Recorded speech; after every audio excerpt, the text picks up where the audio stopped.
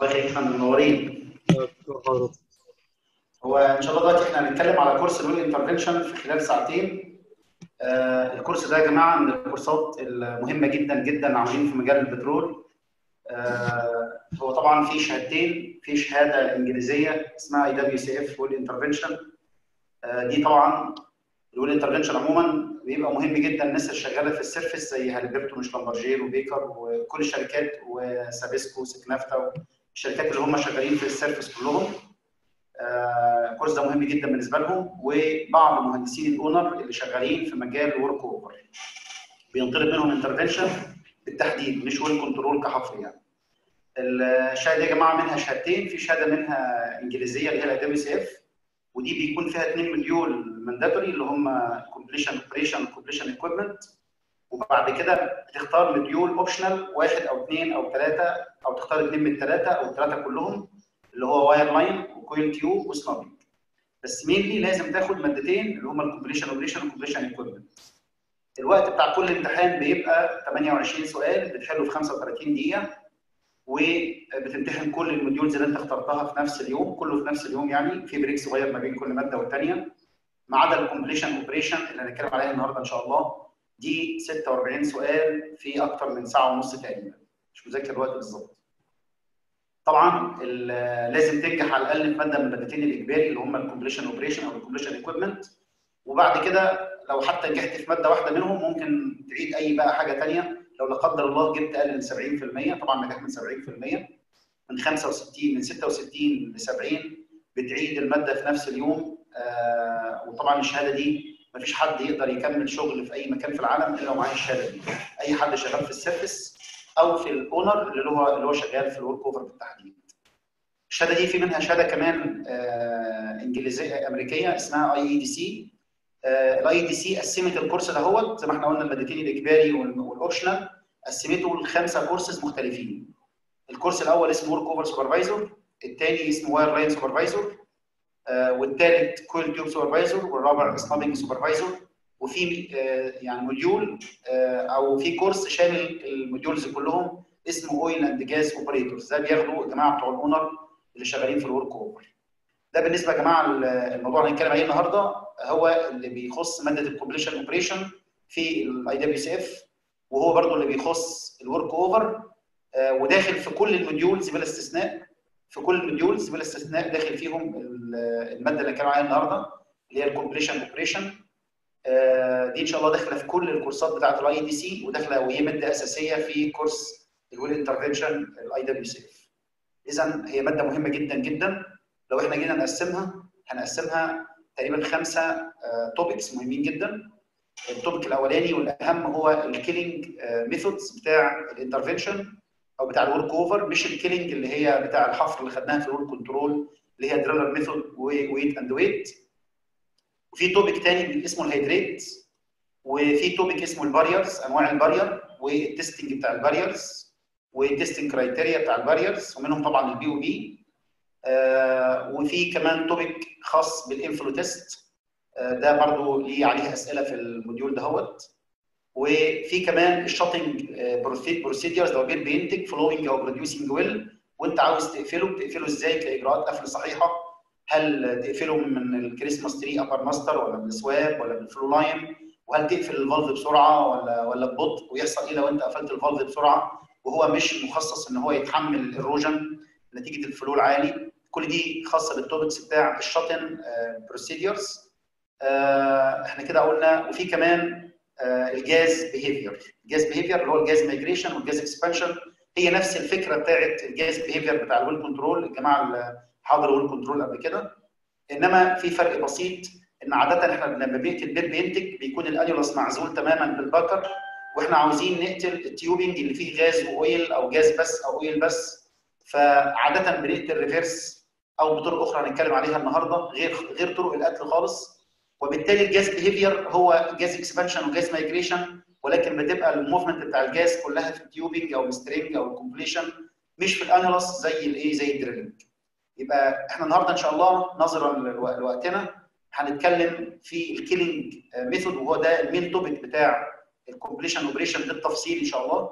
وناخد معاه شوية عن ال hydrate وشوية عن ال testing ال acceptance criteria بتاع ال testing خصوصا بتاعت ال BOP فدي الحاجة إن شاء الله نتكلم عليها النهارده بالتفصيل بإذن الله وناخد exercise ل planning أو design لأكل بير كان بينتج ونحله مع بعض إن شاء الله ونشوف ال design بتاع ال reverse بيتعمل إزاي وبإذن الله في الآخر ممكن نديكم exercise يتحل وترفعوا لنا الأسئلة بتاعته على ال group بتاع الواتس إن شاء الله.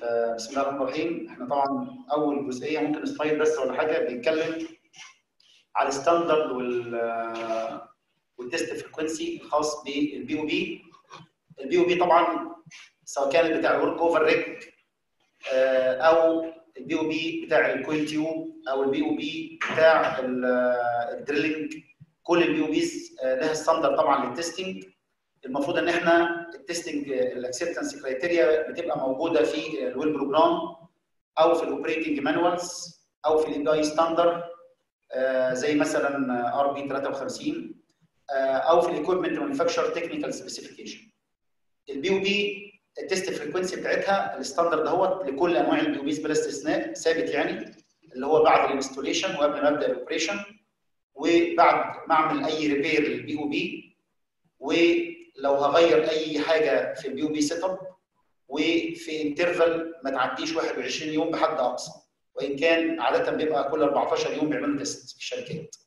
وطبعا ال function test بتاع ال BOP كل أسبوع. يعني باختصار ال BOP بنعمل لها test حاجة من ثلاثة يا إما بعد التركيب وقبل الشغل يا إما لو في أي repair أو disconnect أو في interval ما تزيدش عن 21 يوم ده ال pressure testing وال function test المفروض ما يزيدش عن كل أسبوع نعمل function test function test بمعنى القفل والفتح.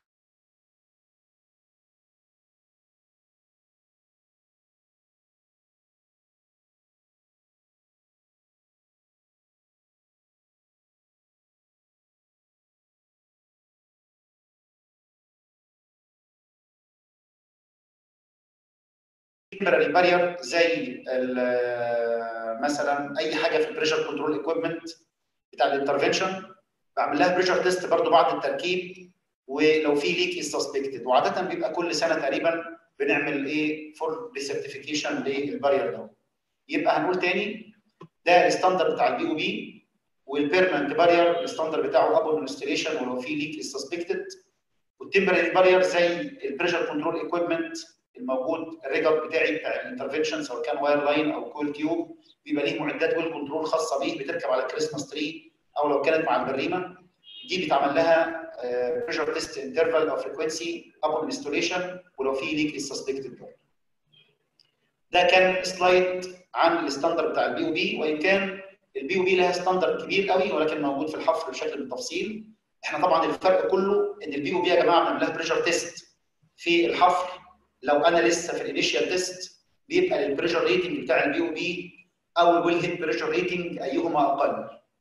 وفي ال subsequent tests test ات التالية ال routine test اللي بيتعمل على بريمه الحفر بيكون ال maximum pressure test بتاع ال BOP هو ال maximum anticipated surface pressure أعلى ضغط متوقع على رأس البير.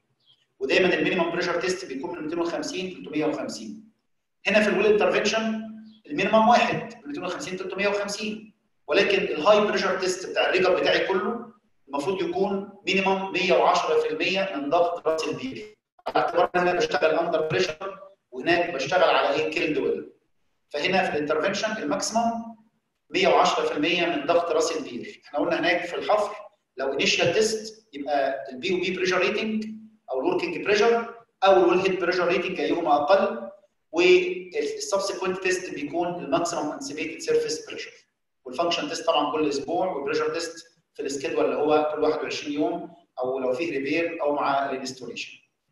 آه ده بالنسبة لل pressure testing عادة من المشاكل من ال topics المهمة في ال completion operation هو ال blockage وال blockage دوت بيبقى عبارة عن sand بيتكون في البير زي ما إحنا شايفين كده في الرسمة. أو scales أو بارافين أو wax أحيانا بيكون mechanical blockage زي collapse في ال casing أو ال liner يعني بيكون ال casing متطبقه نسميها collapse لو هعمل ريموفنج للبلوكج ممكن يكون ب mechanical method زي ال jars. طبعا الجار بيكون معاه اكسلريتور عشان يفاسيليتيت الاكشن بتاع الجار. آه بيبقى فيه حاجة اسمها gauge cutter زي موجودة في الرسمه هنا قدامنا وده شكل ال hydraulic jar ممكن يكون mechanical method chemical method زي ال acidizing ممكن يكون thermal method زي ال heating دي كلها إيه؟ طرق معالجة ال scale آه طبعا mainly في ال scale بيتكون في الآبار. حاجة من الاثنين يا إما كالسيوم كربونات اللي هو عادة موجود في ال limestone أو ال dolomite formation أو الباريوم sulfate sulfate الموجود آه لو في لو أنت عندك barite يبقى المكون الأساسي اللي بي بي بي بيتفاعل كيميائيا ويكون ال scale هو الكالسيوم كربونات أو الباريوم sulfate ده يا جماعة شكل ال paraffins. هو هيدروكربون مشبع شكله أبيض أو بدون لون وتحس إن هو زي ال wax كده. وال asphaltene برضو هو saturated hydrocarbons ولكن بيبقى عامل زي الاسفلت ده ال asphaltene اهوت. وعندنا برضو الواكسز الواكس بروت نفس العائلة بتاع ال paraffins ولكن كل ما درجه الحراره تقل بيتحول طبعا فجأة لمادة صلبة زي ما إحنا شايفين فبيحتاج حرارة عالية دايما. ده شكل الايه ال blockage ده كده topics صغير اثنين topics قلناهم بسرعة اللي هو ال BOP pressure testing وال blockage اللي بيحصل وانت نازل في البير تعمل intervention ممكن فجأة تلاقي ال tool بتاعتك علقت في البير. إيه السبب؟ إن هي علقت ممكن يكون collapse في المواسير ممكن يكون paraffins ممكن يكون wax ممكن يكون asphaltene ممكن يكون scale نتيجة الباريوم sulfate دي الحاجات اللي ممكن تبقى نازل وفجأة تلاقي نفسك فقدت الوزن الخاص بال intervention tool من الحاجات برضو اللي بتعمل blockage وانت طالع من البير على قريب من ال surface بتلاقي إن ال tension بيزيد معاك وال weight بيزيد ده معناه إن أنت ابتديت ت stick في حاجة. قد يكون ال stick ده غالبا بيكون نتيجة ال hydrate ال hydrate ده عبارة عن حاجة زي التلج looks like ال ice أو زي ال crystals هي بتتكون من تفاعل كيميائي بين الفريش ووتر والجاز بيبقى الفريش ووتر عاملة كفر للدروبلتس بتاعت الجاز وعشان الهيدريت يتكون بيلزمه أربع شروط. لازم يكون في جاز لازم يكون في gas natural gas وليكن مثلا طبعا natural gas بيبقى نسبة الميثان فيه عادة عالية جدا أكثر من 94% تقريبا أو في ال range ده. ممكن CO2 عادي ممكن يكون hydrate ممكن H2S water يبقى water و natural gas ومعاهم high pressure و low temperature أي شرط من دول أساسي شرط أساسي وضروري عشان يتكون حاجة زي التلج في نقاط معينة في خطوط الإنتاج أو عند مناطق التخنيق زي ال choke. هنقول طبعا بيتكون فين أهوت. بيتكون مثلا عند ال subsurface safety valve. بيتكون لو أنت عندك leak في ال stuffing box بتاع ال wireline في عند البليد البليد فالف النيدل فالف الخاص باللوبريكيتور دي أماكن ممكن يعني أو عند ال choke طبعا أي أماكن أي, أي أماكن فيها تخنيق بتبقى أماكن عرضه ان يتكون فيها hydrate بشكل سريع جدا. آه طبعا اللي بيحصل في أماكن التخنيق دي إن بيحصل rapid increase في ال pressure فبالتالي بيحصل كنتيجة لذلك rapid increase في ال temperature فبيتوفر الأركان الأربعة اللي هو ضغط عالي و low temperature و free water مع وجود free water و gas طبعا بيتكون زي التلج بيسد المسار بتاع ال bleeding فتيجي ت bleed من مثلا من needle valve تلاقي مفيش حاجة طالعة خالص عندك ومع ذلك لو عندك gauge على ال lubricator تلاقي فيه pressure فتعرف إن ممكن يكون فيه hydrate موجود. وطبعا لما تيجي تكسر ال lubricator sections هتلاقي إن هو ما بيتكسرش بسهولة. ده معناه إن هو في hydrate مانع ان في pressure trapped pressure موجود جوه مانع ال lubricator إن هو يتفك بالايد بسهولة. يبقى الخلاصة يا جماعة ان ال hydrate بيتكون بوجود ال free water خصوصا لو هي distilled water أو fresh water و gas هم الثاني free water و natural gas و high pressure و low temperature وبيتكون فين؟ قلنا بيتكون في مناطق التخنيق زي leak leak stuffing box عند ال subsurface safety valve عند ال needle valve عند ال choke downstream ال choke طيب لو أنا عندي لو أنا مثلا بعمل pressure test عشان ما يتكونش hydrate بنحط نسبة من الجلايكول مع المية بتاعت ال test ولتكن مثلا 50 50 وجود الجلايكول الحقيقة بيمنع التفاعل بتاع هو مش بشكل كامل ولكن بيعمل shift لل condition اللي بيتكون عندها ال hydrate فإذا كان بيتكون عند درجة حرارة مثلا مثلا 30 يخليه يتكون عند 60 أو 70 فالجلايكول ده ك precautions بتعملها لما تيجي تعمل testing عشان ما يتكونش hydrate آه طبعا في كمان يعني حاجات ثانية ممكن طرق ثانية ممكن نعالج بيها ال hydrate زي إيه؟ زي إن أنا مثلا أعمل heating تريس tracing شايف حضرتك بلف زي ملف التسخين.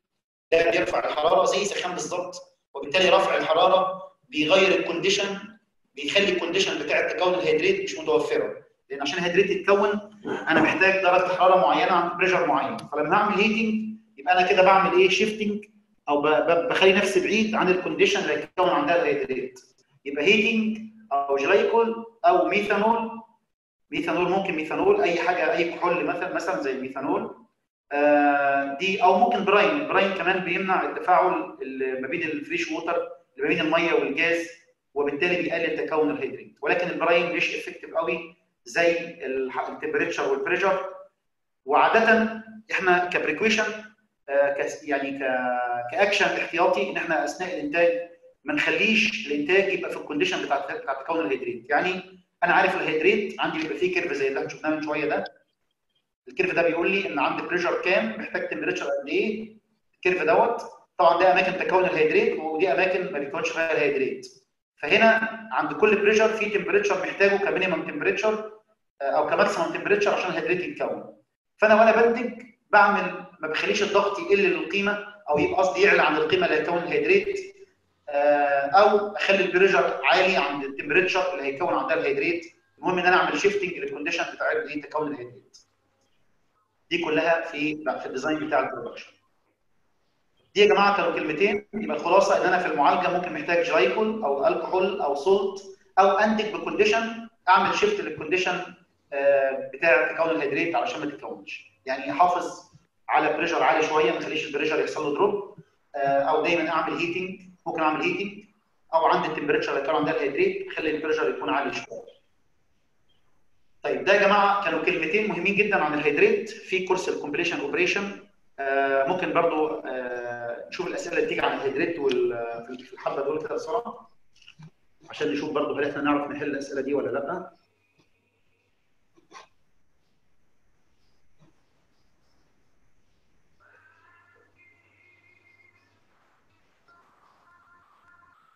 إن شاء الله هسألكم بقى في الأسئلة دي ونشوف هتعرفوا تحلوها ولا لأ. بتاعت ال hydrate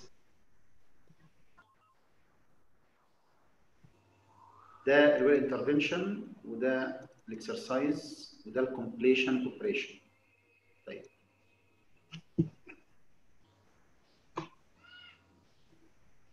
أنا ممكن أكون ما عملتش سماحية لكل الناس إنها تتكلم فلكن هو كده خلاص الناس كلها ممكن تتكلم معانا إن شاء الله. تمام. إحنا عملنا control F وقلنا hydrate طيب معلش يا جماعة إحنا في سؤال بيقول which of the following measures can prevent or remove hydrates عايزين ثلاث إجابات من الثلاثه دول مين يقول لنا إجابة منهم؟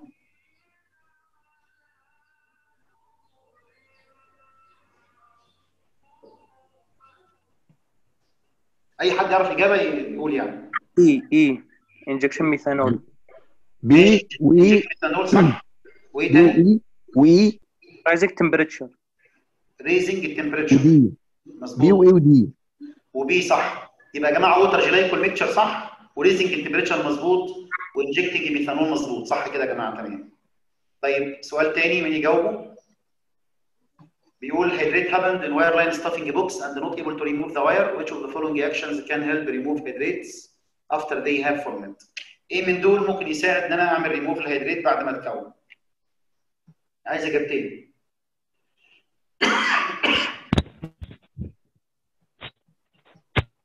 بي. دي صح. بي برضو. دي صح وإيه كمان؟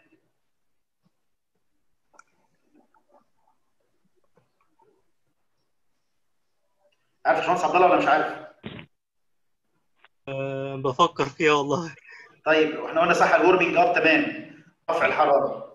وقلنا إيه كمان يعالج تكون. ال hydrate باشمهندس C وال- والميثانول صح تمام. قلنا الميثانول ورفع الحرارة. تمام. السؤال الثالث يا شباب بيقول ال hydrate مش هيتكون إلا في وجود الماء صح ولا غلط؟ صح. صح. مظبوط تمام. سؤال تاني بيقول أي الطرق التالية ممكن يساعد إنه يعمل ريموف ال hydrate عايزين ثلاث إجابات برضه. رقم D. D صح D. صح. D وإيه صح؟ C A؟ لا A لا؟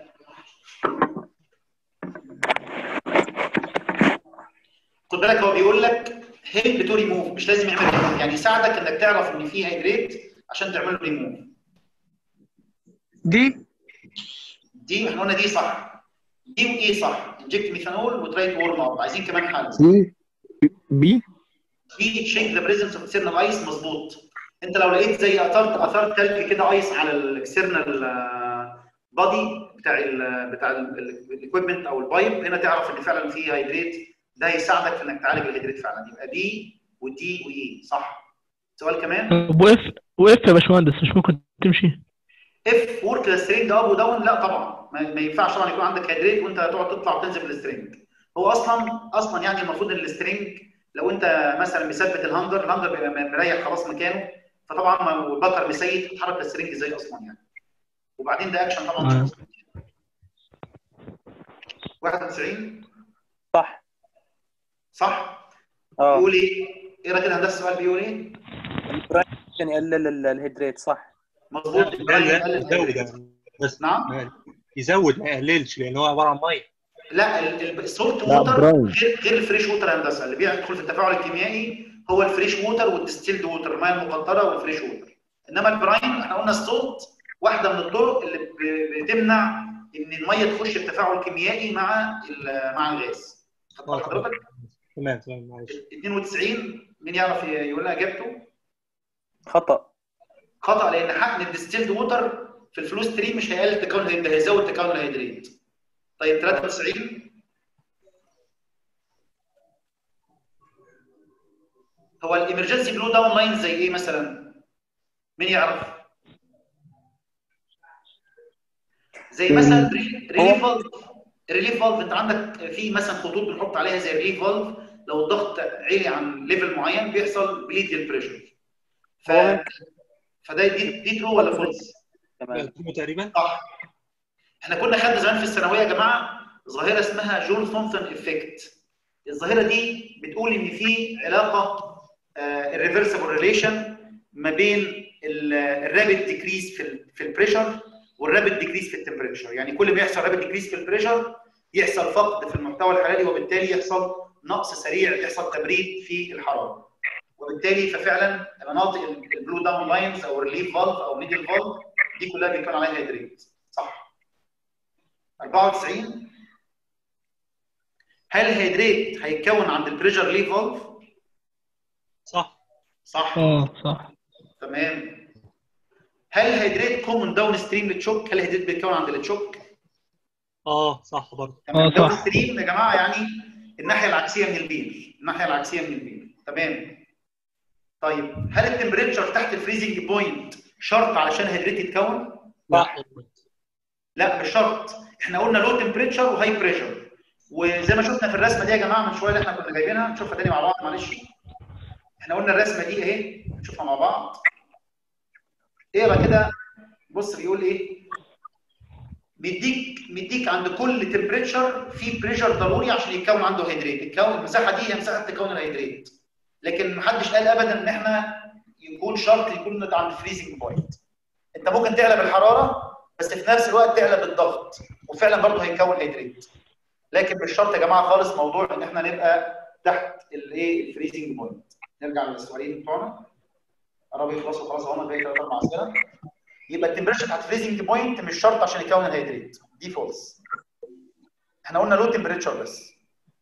هل ال hydrate آه ممكن يتكون لو إحنا حققنا جلايكول يعني قب يعني قابليته للتكون أكثر أو احتمالية تكونه أكثر وهنا قليل مش أكثر ويكون هو أقل المفروض هو يقل، مش likely to form يعني هو.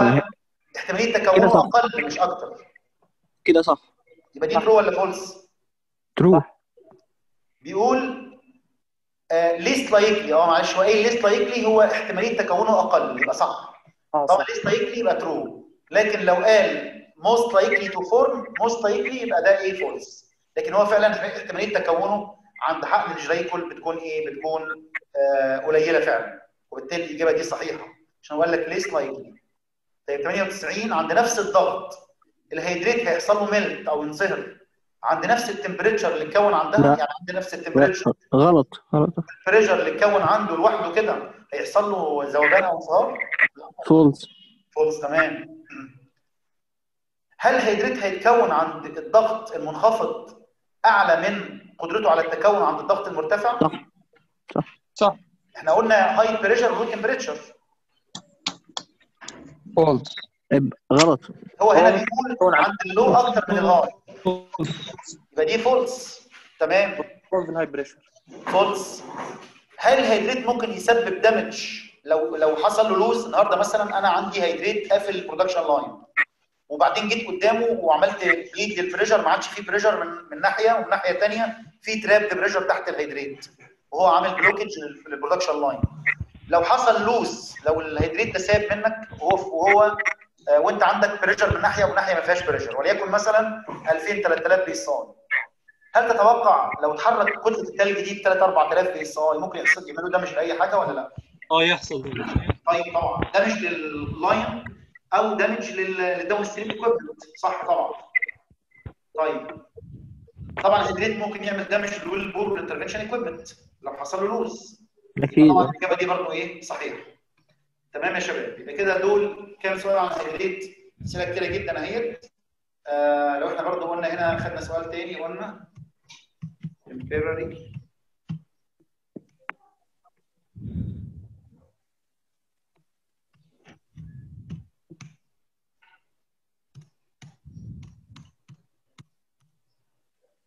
هنا في سؤال بيقول لك لما تيجي تعمل inflow test على temporary barrier قلنا temporary barrier زي إيه يا شباب؟ مين اللي فاكر؟ temporary barrier زي ال pressure control equipment زي بلاجه مثلا في في ال landing nipple جوه ال completion. حاطط آه تمام. طيب هنا بيقول لو حصل failure في البلاجه هنا هعمل إيه؟ حاجة من اثنين يا إما أسحب البلاجه وأحط بلاجه مكانها يا إما لو في nipple تاني فوقيها أحط فيه بلاجه ثانية يبقى الإجابة الأولى أو الإجابة الثانية مش هو ده السؤال برضه كنت عايز أجيبه؟ أنا كنت عاوز أجيب temporary barrier ال pressure testing frequency طيب ماشي. ممكن ناخدها كده permanent barrier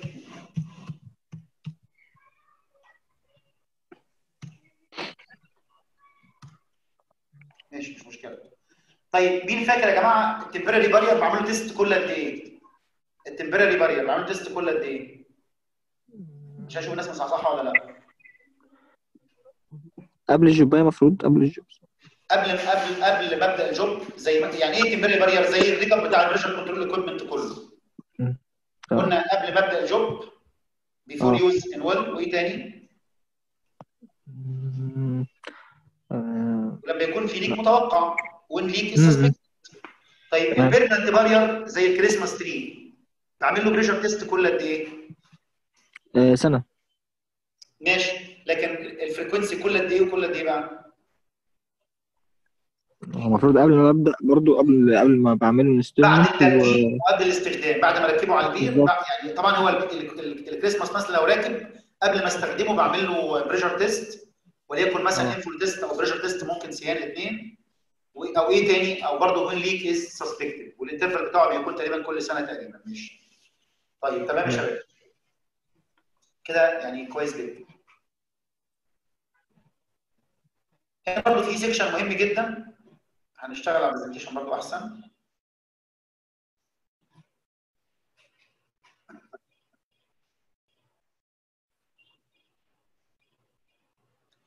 هنا يا جماعة ال maximum pressure during well kill أثناء قتل البير أو أنا عموما وأنا شغال في البير خصوصا خصوصا وأنا بعمل أي آه، مثلا hydraulic frac بعمل pressure testing وأنا شغال بعمل killing للبير آه، بنخاف جدا يا جماعة ان الضغوط تعلي تعدي ال limitation بتاعتي بتاع ال well ال production well أو test ال killed well طيب هو إيه ال limitation بتاعتي اللي أنا المفروض ما أعديهاش؟ الحاجة الأولى ال well head وال Christmas tree rating. ما ينفعش الضغط على ال Christmas tree أو ال well head يعدي ال pressure rating بتاع ال two items دول. الحاجة الثانية لو الضغط رفع في ال annulus هنا يا شباب لو الضغط رفع في ال annulus هنا ممكن يحصل انفجار لل casing بنسميه casing burst إن ال casing بتقاوم pressure معين ولو الضغط الضغط ارتفع في ال annulus عن limit معين بيحصل إيه؟ burst لل casing وده واحد من ال limitation واحد من الحاجات اللي أنا لازم أخد بالي منها جدا جدا خصوصا أثناء البير طيب لو الضغط رفع في ال annulus ممكن ال tubing كمان يحصل لها collapse tubing collapse أو قال لك tubing collapse وطبعا لو أنا برفع pressure من جوه ممكن يحصل tubing burst يبقى لو الضغط من جوه ممكن يحصل انفجار لل tubing بنسميه tubing burst لو الضغط من الخارج من ال annulus عالي ممكن يحصل tubing collapse لو الضغط في ال annulus رفع وعدى الحدود المسموحة اللي إحنا بنسميها ال MAASP أو ال maximum allowable annular surface pressure ممكن يحصل انفجار لل casing اللي هو annulus A وده برضه ال casing burst. إيه تاني؟ لو الضغط رفع جدا على البير سواء كان بال tubing أو ال annulus وبقى الضغط subjected to لل perforation أو ال pore zone ممكن يحصل إيه؟ ممكن يحصل fracture لل formation. يبقى أنا عندي كام limitation؟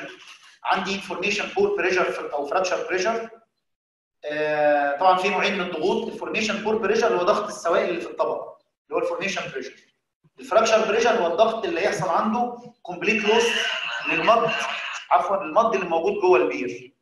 ده بالنسبة لل formation pressure وال fracture pressure آه ال tubing collapse قلنا لو الضغط رفع بره في ال annulus ممكن يحصل مواسير تطبق بنسميها tubing collapse لو الضغط رفع جوه ال tubing بنسميها tubing burst لو الضغط رفع في ال annulus ممكن ال casing يحصل لها برضه انفجار يبقى إيه؟ يبقى casing burst ما ينفعش اعدي ال well head pressure rating ال well head pressure rating ده كل ده ال well head و أو ال Christmas tree pressure rating لو ال Christmas tree بتبقى فوق هنا مش موجودة في الرسمة أو Christmas tree pressure rating طبعا لو حصل corrosion أو blockage أو wear ده طبعا هيأثر على أعلى ضغط أنت ممكن تبقى تحطه على ال formation يعني النهارده لو حصل corrosion في ال tubing بدل ما كانت بتتحمل مثلا يعني 5000 psi ممكن تتحمل 4000 3000 لو بنتكلم بال yield strength يبقى بال pound لو كانت هتحمل مثلا 70000 pound هيبقوا 60000 هيبقوا 50000 كل ما بيحصل corrosion أو wear لل tubing كل ما قدرة تحملها إيه بتقل.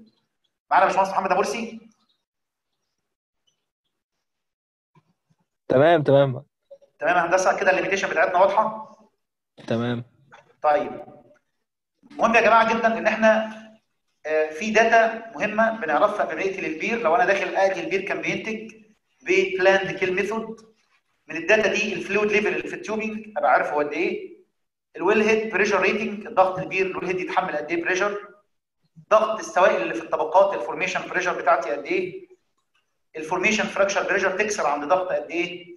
ال casing وال tubing sizes وبالتالي طبعا الجريد والكيسنج والتيوبنج سترينثز السايزز ده علشان إيه؟ علشان ال capacities عشان الحجوم. عشان لما أجي أقتل البير أبقى عارف أنا محتاج كام برميل عشان أعمل displacement لل tubing capacity وكام برميل عشان أو كام stroke عشان ال annulus capacity ده عشان كده مهم نعرف الكيسنج والتيوبنج سايزز الكيسنج والتيوبنج سترينثز علشان ما نعديش ال limitation بتاع ال tubing وال casing أثناء ال killing طبعا يستحسن أكون عامل injectivity test لو أنا هعمل bull heading علشان أشوف الطبقة دي بتقبل بمعدل قد إيه. فلما أجي أعمل ال bull heading ما أجيش مثلا أخلط ال kill mud وأجي أضخه ألاقي فيه back pressure عالي جدا عليا. وما أقدرش اكمل ال job بعد ما جهزت ال kill mud يبقى ال injectivity test مهم جدا.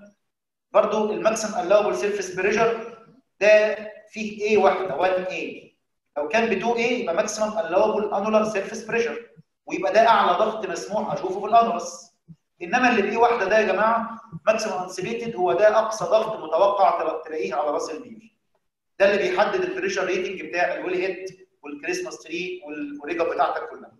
بعد ما اضربه في 10% 110% لو هشتغل intervention أو ب test عليه ال BOP لو أنا هشتغل drilling طيب عشان ما يحصلش damage لل formation أثناء ال killing مهم جدا لو أنا أقدر أعمل fluid isolation بإن أحط مثلا plug في ال end بتاع ال tubing لو هعمل reverse killing يبقى أعزل المواسير. تعالوا كده أشرح لكم على الرسمة هنا. لو إن مثلا ده بير اهوت لو أنا هعمل reverse هضخ مثلا عكسي من ال annulus باخد الراجع من ال tube أو من ال tube باخد الراجع من ال annulus لو أقدر أحط plug في ال nipple من تحت علشان أعزل ال formation يبقى يا حبذا ده يبقى شيء كويس جدا. عشان بنخاف يا جماعة إن أي حاجة تترسب وده ويحصل يعني blockage أو scale على ال perforated zone يبقى أول حاجة قلناها ال fluid isolation ال fluid filtration أو cleanliness اللي إحنا بنسميها ال turbidity مهم جدا إن إحنا نحافظ عليها في ال normal بيكون من 15 ل 20 دي ده دي الوحدة بتاعتها إن إحنا ما نخليش ال fluid فيه نسبة آه، يعني contamination عالية علشان ما يحصلش blockage لل perforation. طيب ال fluid selection يا جماعة برضو مهم جدا إن أنا لما أختار fluid أقتل بيه البير ال fluid ده يكون compatible مع ال formation. يعني بناخد عينة sample من ال fluid دوت و sample من ال produced fluid من ال formation ونوديه ال lab يحصل compatibility test ونشوف هل لو ال fluid ده وصل لل formation هيحصل تفاعل كيميائي بينه وبين ال fluid بتاع ال formation وبالتالي يحصل ترسيب وترسيبات دي تعمل blockage في ال perforation ولا لا. فإذا ال fluid isolation عزل ال perforated zone ب plug ده أو نظافة ال fluid عن طريق ال filtration أو ال centrifuge أو إن أنا أختار fluid compatible مع ال formation وطبعا يكون ال kill mud بتاعي يا دوب في over balance مناسب لكن ما يكونش تقيل قوي عشان ما يكسرش ال formation بال hydrostatic بتاعه وما يكونش قليل قوي فما يبقاش كافي إن هو يقتل ال formation يبقى في يعني reasonable over balance لازم ناخد بالنا إن الحرارة لو هضخ brine في البير ال brine دوت لو البير فيه temperature عالية أكيد ال temperature دي هتقلل الكثافة الفعلية لل brine أو لل kill mud جوه البير. بمعنى إيه؟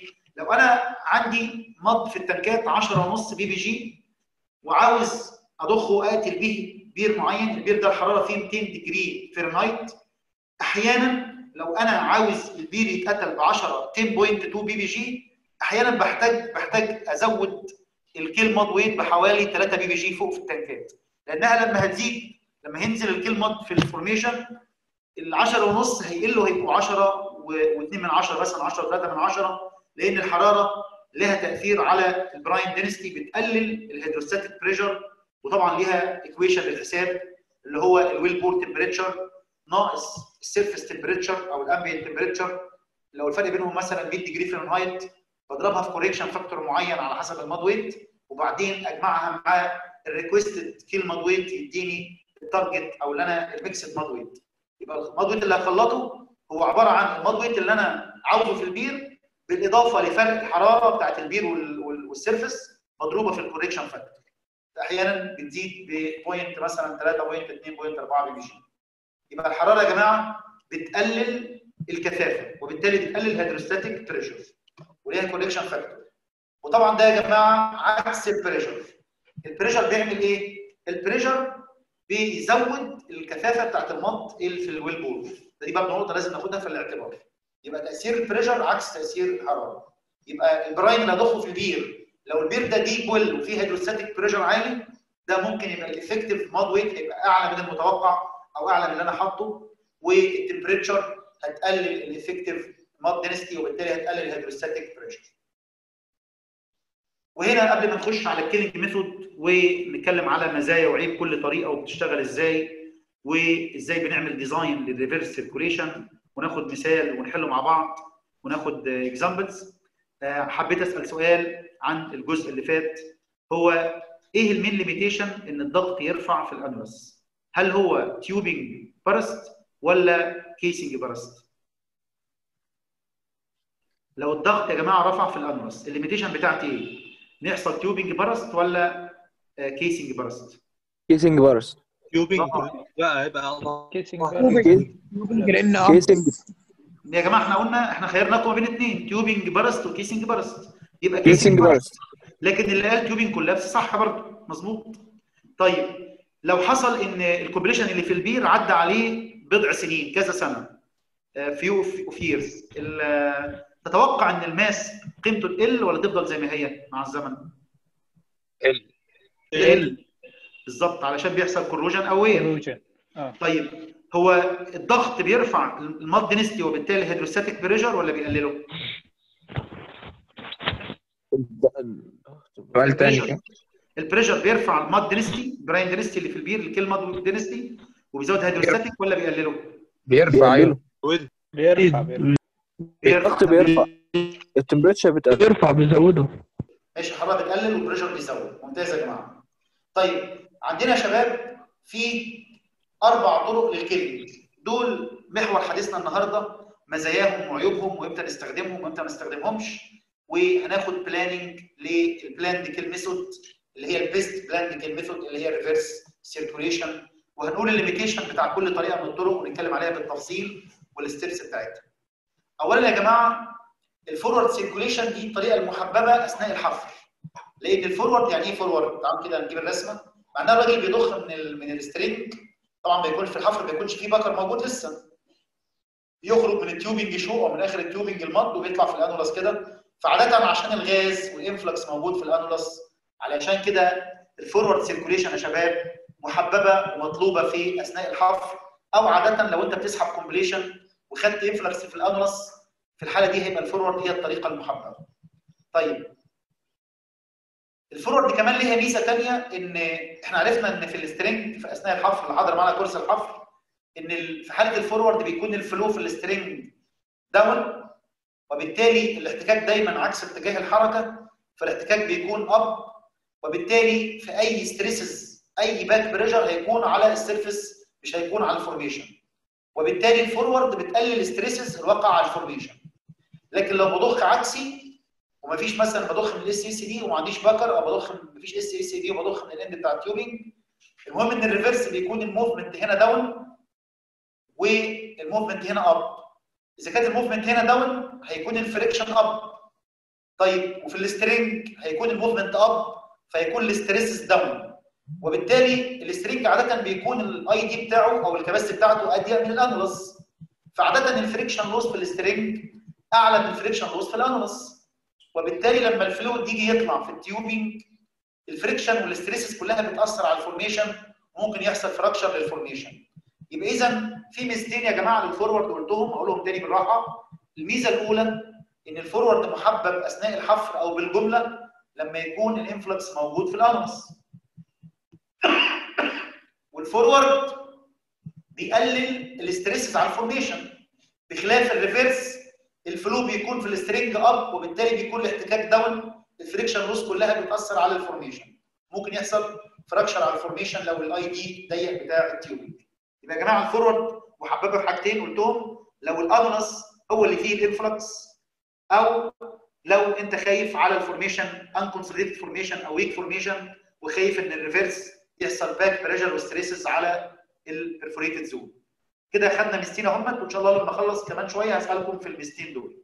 أقولهم تاني لو ال influx في ال annulus أو ويقلل ستريسز على الفورميشن لأن الفلو بيكون اب في الانولس والانولس بيكون واسع بخلاف ما يكون ال flow reverse فبيكون ال up في ال string ودايما الاحتكاك عكس اتجاه الحركة فال friction loss هتكون هنا في عالية جدا وممكن تأثر على ال formation ويحصل fracture كده دي يا جماعة المزايا بتاعت ال reverse ولكن إحنا هنا في ال workover وال intervention بنقول إن ال plan لو بير بينتج وقفلته هيكون طبعا البير بالشكل دوت فيه packer وهيكون الغاز والزيت جوه ال tubing وال annulus بيكون فيه completion fluid completion fluid أو completion brine آه وليكن مثلا 0.49 0.48 psi per foot آه وبالتالي أنا في حالة ال ال البير بينتج وداخل عشان أقتل البير علشان أدخل أسحب ال completion هعمل فيه ميجر ورك اوفر في الحالة دي يا جماعة هيبقى ال planned kill method والطريقة المحببة وأكثر الطرق مزايا بالنسبة لي هي ال reverse طيب هيقول لي واحد أنت قلت لنا ميزتين لل forward طب إيه المزايا بتاعت ال reverse أقول لحضرتك ببساطة لو أنا بضخ من ال annulus عبر ال SSD ال communication device بتاعي أو circulation device هو ال SSD وعادة بنحطها زي ما قلنا لو circulation device بحطها بحوالي joint فوق ال packer زي ما إحنا شايفين. كنت قلت لزمايلكم قبل كده إن بحطها ليه ب joint فوق ال packer عشان لو حصل debris ترسبت أو أي settling لأي solids ما تقفلش ال SSD لما أفتح ال SSD ال SSD عبارة عن ماسورة مخرمة ومن جوه فيه بوابة قافلاها. بعمل shifting down أو shifting up لل sliding sleeve أو ال sliding side door ديت. بسحبها up أو down shifting up أو shifting down وبالتالي ببدأ أفتح communication path من ال annulus وال tube عشان أقدر أسركل واقتل البير فعادة بنحطها ب joint فوق ال packer عشان لو حصل debris settling ما يحصلش interfering لل debris مع ال circulation device وال debris ما تقفلش منك ال SSD وتبقى مش عارف تسركل بعد كده. عشان كده بنحطها one joint above ال packer عشان لو ترسبت حاجة ما تقفلش ال SSD يبقى هضخ من ال annulus إيه المزايا بتاعت ال reverse؟ اولا يا سيدي أنت عندك طبيعي إن عندك في غاز في غاز وفي oil في في ال tubing. هنفرض مثلا الغاز آخره عند الجزء ده. مثلا ولتكن مثلا ده 7000 قدم عندنا 3000 غاز و4000 إيه oil جوه ال tubing فمع أول برميل بتضخه من ال annulus من ال kill fluid بيبدأ أول برميل من ال brine يدخل ال tube من تحت ويزيح أول برميل من الغاز فوق. يبقى أول ميزة لل reverse إن ال gas will come out early الغاز هيطلع بره بسرعة. بخلاف لما تضخ forward وأنت كبير بينتج وال tubing فيه غاز يبقى أنت محتاج تزيح الغاز وال oil لغاية ال SSD وترجع تاني تزيح الغاز وال oil للإيه؟ لل annulus فإذا الغاز هيخرج أسرع في ال reverse من ال forward دي أول ميزة. الميزة الثانية إن ال annulus وكمان الغاز هيعمل breakthrough أصلا. الثانية المهمه اللي كنت هقولها حالا. إن you will end up with pure fluids هيبقى ال end up فوق pure fluids الغاز هيطلع لوحده. تاخد الغاز على ال flare مثلا أو على ال vent. تاخد ال oil على تنكات على خط production أو على تنكات زيت. وتاخد بعد كده ال brine اللي طالع اللي هت displace- تعمل له displacement بال kill mud تاخده على ال mud system يبقى أنت تقدر إيه end up with pure kill fluids يعني ال surface هيطلع كل fluid لوحده. زي ما زميلنا بيقول باشمهندس محمد مرسي السلام عليكم يا باشمهندس محمد. طيب. آه طيب الحاجة الثالثه إن دلوقتي يا جماعة لما يكون ال annulus فيه completion fluid ال brine gradient 0.49 مثلا في حين إن ال oil هنا مثلا 0.5 0.4 psi per foot وطبعا الغاز بيبقى حوالي 0.1 فعادة يا جماعة الغاز والزيت بيكونوا أسهل من أخف من ال completion brine وبالتالي لما تقيل يزق خفيف ما يحصلش عليه back pressure ما تبقاش ال pump ال pumps عليها back pressure دي الميزة الثالثه يبقى الميزة الأولى إن ال gas will come out early will end up with pure fluids والثالث إن ال surface pressure مش هيبقى عالي بالنسبة لل pumping system لأن أنت معاك ال U-tube هتبقى في صالحك. ال U-tube يعني وزن ال- ال- ال branch بتاع ال annulus هيبقى ال hydrostatic بتاعه أعلى من ال branch بتاع ال tube اللي فيه غاز وزيت خفيف. كده ثلاث مزايا. هل في مزايا ثانية لل reverse إحنا كده قلنا ثلاث مزايا أهو.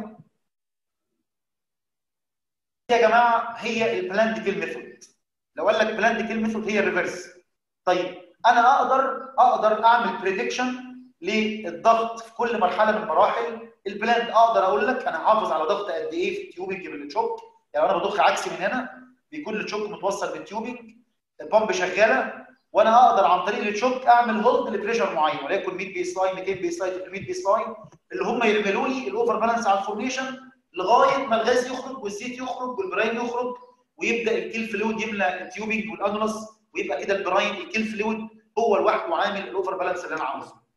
يبقى أنا أقدر أشتغل بال choke وأعمل back pressure اللي أنا عاوزه علشان أحافظ على ال pressure مناسب يدوب فوق ال formation fluid pressure وأقلل ال fracture pressure طبعا practical practical يا جماعة في بعض الدول العربية كتير الناس بيروحوا حاطين ال kill mud ومشغل ال pump ويفتح ويسركل و displacement الغاز والزيت وساعات ربنا بيسترها معاه وما ياخدش باله والدنيا بتعدي وساعات ممكن يعمل major damage يعني مثلا ممكن الضغط آه، يبقى عامل back pressure بال choke جامد فالضغط يرفع بال pumping على ال annulus فيعدي ال MAASP ويعمل burst لل casing والبير ال casing لو باظ طبعا بتبقى كارثة بالنسبة للبير بيحتاج تعمل job squeeze cement أو لو عندك تسعة وخمس اتمان بتغلفه بسبعة بوصة بنسميه tie back أو scab آه، scab liner الحاجات دي طبعا مكلفة جدا وخسارة كبيرة جدا للبير. ويبقى هو الراجل علشان مش مش عامل design مظبوط مش حاسب الضغوط ال limitation بتاعته بشكل مظبوط يبوظ البير كله اللي هو بملايين وهو مش واخد باله. فإذا مهم جدا إن الواحد يبقى عارف عشان برضه ما يكسرش ال formation بال back pressure العالي وعلشان ما ياخدش تاني غاز وزيت ويفضل يقتل البير ده اللي يقتله في ساعتين أو ساعة يقتله في يوم في يوم ولا يومين ولا ثلاثة وكل دي فلوس وعمال يرمي آه، mud وفي آه، mud engineer موجود وفي additives بتتحط بفلوس. والناس عماله ترمي الحاجات دي كلها ومفيش حد طبعا لا بيعمل design ولا بيحسب حاجة وعمال يسركل وكل شوية يخش له غاز والبير لسه ما اتقتلش ما اتقتلش يا باشمهندس خبط لي كمان تنكات يسركل لأن هو أصلا عمال ينزل under balance ويخش له غازات ثانية وهو مش واخد باله. سواء كان بيقتل reverse أو بيقتل bullheading زي ما نحكي بعد كده. يبقى الكلام ده يا جماعة مهم جدا إن الواحد يشتغل مظبوط. مش معنى أنت اشتغلت blind كده وربنا استر معاك إن ده إن كل حاجة تمشي كل مره مظبوط. وساعات كتير حاجات بتبوظ والناس مش عارفة إيه اللي بوظها يعني يبقى أنا النهارده آه بنقول إن أنا هسجل من هنا من ال annulus وهقدر أقول لك إزاي تعمل design لل tubing وال annulus pressure وأقدر أقول لك بعد كل كام برميل بتضخه أقدر أقول لك ال annulus هينزل لغاية كام وال tubing هيبقى فيه pressure كام يعني نقدر نعمل design مع بعض الحاجات دي كلها دلوقتي إن شاء الله وده ال plan اللي إحنا هنتكلم عليه النهارده بإذن الله يعني. يبقى ال reverse قلنا مزاياها طب لو أنا يا جماعة مش عارف أعمل reverse لسبب من الأسباب هو إن ال SSD دي stuck closed أو أنا عندي هنا sub surface safety valve موجود في ال tubing و mistake مش عايز يفتح بشكل كامل. وبالتالي ال reverse circulation هيعمل هيعمل closing لل flapper بتاع ال sub surface safety valve ويخليك مش عارف تعمل reverse circulation أنا النهارده مش عارف اسيركل أو عندي sub surface عشان ال SSD في مشكلة stuck close أو ال sub surface safety valve مstuck ومش عارف برضو أعمل reverse circulation في الحالتين دول يا جماعة بضطر أخش على الطريقة الثالثه اللي هي اسمها ال bullheading ال bullheading ببساطة ببساطة جدا وال SSD مقفولة بشغل ال pump وأضخ kill mud من ال tubing من هنا وأرجع كل الغاز والزيت جوه ال formation تاني. وطبعا لها design ولها limitation مفيش حاجة برضو بالعمياني كده وبالبركة. طيب إيه الحالة الثانية اللي أنا ممكن آه، أضطر أعمل فيها bullheading لو أنا ما عنديش معلومات كافية عشان أعمل plan لل reverse أو أنا عندي مشكلة ظهرت بسرعة وعاوز أقتل البير بسرعة. طبعا يا جماعة ميزة ال bullheading إنها سريعة جدا. أنت just إنك بتزيح كل الغاز والزيت جوه ال formation. وفي وقت قياسي جدا بتخلص يبقى لو أنا عندي time أنا عندي آه، مفيش sufficient information أو في مشكلة سريعة ظهرت في الثلاث حالات دول أنا بضطر إن أنا أشتغل bullheading بالإضافة للسببين اللي قلناهم اللي هو سبب إن ال SSD stuck close أو إن ال sub surface safety valve هو كمان stuck أضف إلى ذلك سببين سبب كمان مهم جدا أو سببين وهو إن أنا لو بعمل reverse لازم يكون عندي فوق manifold عشان أقدر أتحكم في الضغط اللي راجع. طيب لو أنا عندي فوق failure في ال في ال system بتاع ال circulation مش هعرف آخد ال- الراجع من البير على تنكات وعندي مشكلة فوق في leak ولا في أي مشكلة في في ال circulation system اللي فوق هنا هضطر إن أعمل bullheading يبقى كمان لو عندي مشكلة في ال circulation system أو زي ال choke مثلا أو إيه كمان أو أنا عندي أصلا البير فيه H2S وأنا مش عاوز اطلع H2S فوق عشان مش هعرف أ handle ه يبقى إحنا كده قلنا يا جماعة ال reverse ال bullheading بضطر ألجأ لها في كام سبب تعالوا نقول مع بعض تاني. واحد ال SSD stuck close أو ال sub surface safety valve اثنين ثلاثة في failure في ال circulation system أربعة في H2S في في البير. آه، خمسة مفيش sufficient information عشان أعمل design ل capacity وك volumes وك gradient بتاع ال fluids اللي في البير عشان أعمل reverse آه، ستة مين يقول لي بقى ستة يفكرني بسته طب مين يقول لي واحد واحد طيب نعدهم مع بعض تاني؟ واحد يقول لي واحد. بال bullheading واحد. ال SSD stuck close مظبوط. اثنين sub safety ال sub safety valve ماشي stuck closed إيه تاني أو stuck open إيه تاني manifold عندي فوق مش شغال. في failure في ال circulation system تمام يا باشمهندس محمد محمود. في اتش في H2S عارف. مظبوط. في كمان سببين قلناهم. باشمهندس عبد الله مظبوط. H2S في كمان سببين وأنا عندي آه، leak في في السيركيوليشن سيستم قلناها دي هندسة في كمان سببين قلنا لو في مشكلة ظهرت وأنا مش قادر أسيطر على البير وعاوز أقتله بسرعة. يبقى لو في problem arises أو ما فيش sufficient information ما فيش information خالص عن ال fluid اللي في البير ولا الحجوم ولا ال capacity ولا أي حاجة. دي يا جماعة الأسباب اللي بشتغل فيها bullheading طيب إمتى ما ينفعش أعمل bullheading لو أنا عندي scale عامل plugging لل perforation لو في scale عامل plugging لل perforation هنا هضطر أقتل مش هعرف أقفل اقتل bullheading لأن ال scale ده هيعمل إيه؟ هيرفع عليك الضغط العكسي على ال pump على ال pumping system طيب إيه كمان؟ لو أنا عندي collapse في ال tube لو في collapse في ال tubing لو في حد بيرفع إيده يا جماعة يسأل. لو في collapse في ال tubing في ال string فأنا لما أجي أضخ هيبقى ال ID بتاع ال tubing ضيق. وبناء عليه هيرفع ال back pressure على ال pumping system يبقى دي كمان حاجات ما ينفعش أعمل فيها bullheading هنا هضطر أدخل الطريقة الأخيرة يا جماعة اللي هي lube and bleed بس قبل ما أتكلم عن lube and bleed وأنا بعمل ال bullheading في limitation وأنا بضخ كده من جوه ال tubing من جوه ال system بعمل bullheading كده في limitation يعني أنا مش بضخ ب أي pressure في حاجات في ضغط لو عديته هيعمل كارثه في البير. اولا رقم واحد مين يقول لي أول limitation بالنسبة لي إيه؟ ال burst ال burst ال burst ال- بتاع بتاع ال tubing برافو عليك. ال tubing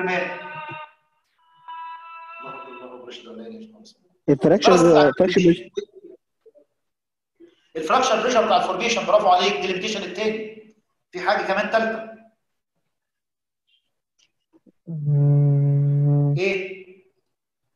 ال ال annulus ال ال- اسمه إيه ال casing نفسه. الحاجة الثالثه هي هندسة. مش ال pumping system يا جماعة مش limitation مش ال pumping آه، آه. system ده له limitation يعني أنا أنا ممكن أضخ في طبقة tight formation والطبقة دي مش قابلة pressure مني وعمالة ترفع الضغط العكسي والضغط بيعلى على البمبات والبمبات تضرب هل ده مسموح؟ يبقى ال pumping. system limitation وبشتغل في ال pumping system على على أقوى component ولا أضعف component؟ أضعف واحد إيه رأيكم؟ أضعف واحدة برافو عليك دايما بشتغل يا جماعة بص عبد الله بعد إذنك الشحن دي عبد الله وصل الشحن بسرعة. عفوا بس نوصل البطارية عشان ما تكسرش مننا يعني. بشتغل طبعا على ال lowest component pressure rating على أضعف مكون ال pressure rating بتاعه إيه؟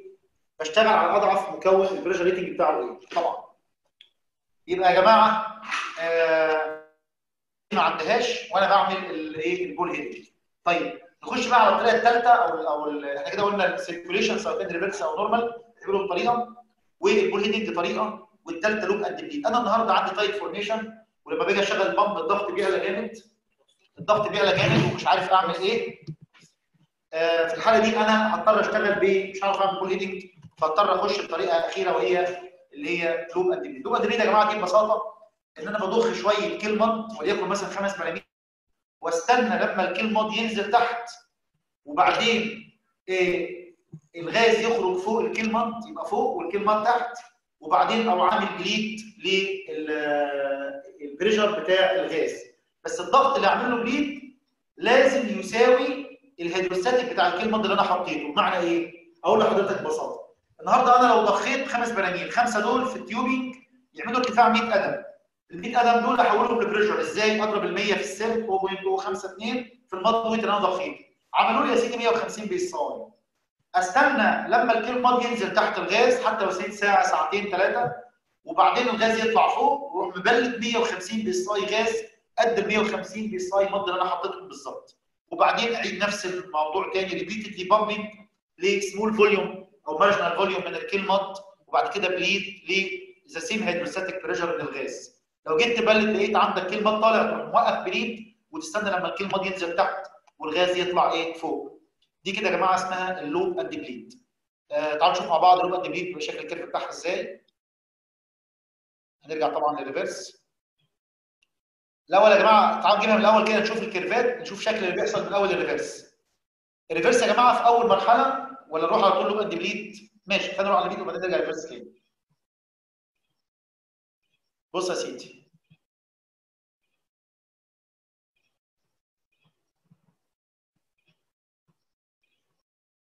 هنتكلم شوية تاني على ال lube and وال reverse.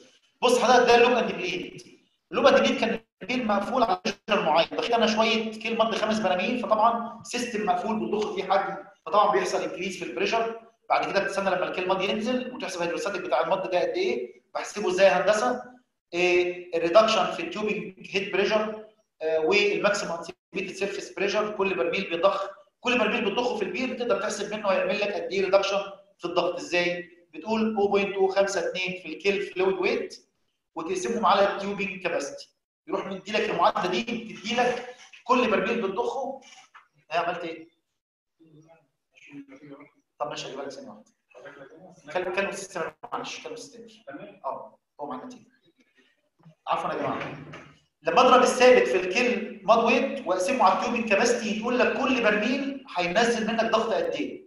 تمام؟ هتعمل bleed pressure قد إيه منه وبالتالي لو دخلت خمس براميل تقدر تحسب خمسة في المعادلة دي. يقول لك طبعا يا جماعة ال kill mud ده ppg في الثابت بيديك psi per foot. لما أقسمه على ال barrel per feet تمام؟ يبقى كده يديك feet يروح مع feet يبقى psi per barrel أضربه بعد كده في كام برميل بتضخهم بيديك كام psi drop لكل إيه؟ لكل البراميل اللي بتضخهم كده ده ال curve بتاع ال lube and bleed. لما بضخ لما بعمل bleed لما بضخ لما بعمل bleed. بضخ بعمل bleed لغاية ما البير إيه؟ يتقتل. وانت وانت شغال بيبقى عندك قيمة ما بتقلش عنها. القيمة دي أقدر احسبها معاك دلوقتي وقيمة ما تزيدش عنها. لو لو قليت هيدخل عندك influx تاني. ولو زدت هتكسر ال formation طب يا هندسة ده عبارة عن إيه؟ ده عبارة عن ال shut-in pressure اللي كان موجود. طيب ماشي ما قلش عنه في الأول. طيب يا هندسة الضغط ده عبارة عن إيه؟ ده ال zero إن هو ال tubing pressure تبقى zero. يبقى أنا بوصل ال shut-in tubing pressure بال zero كده يبقى ده ال minimum ما قلش ما قلش عنه.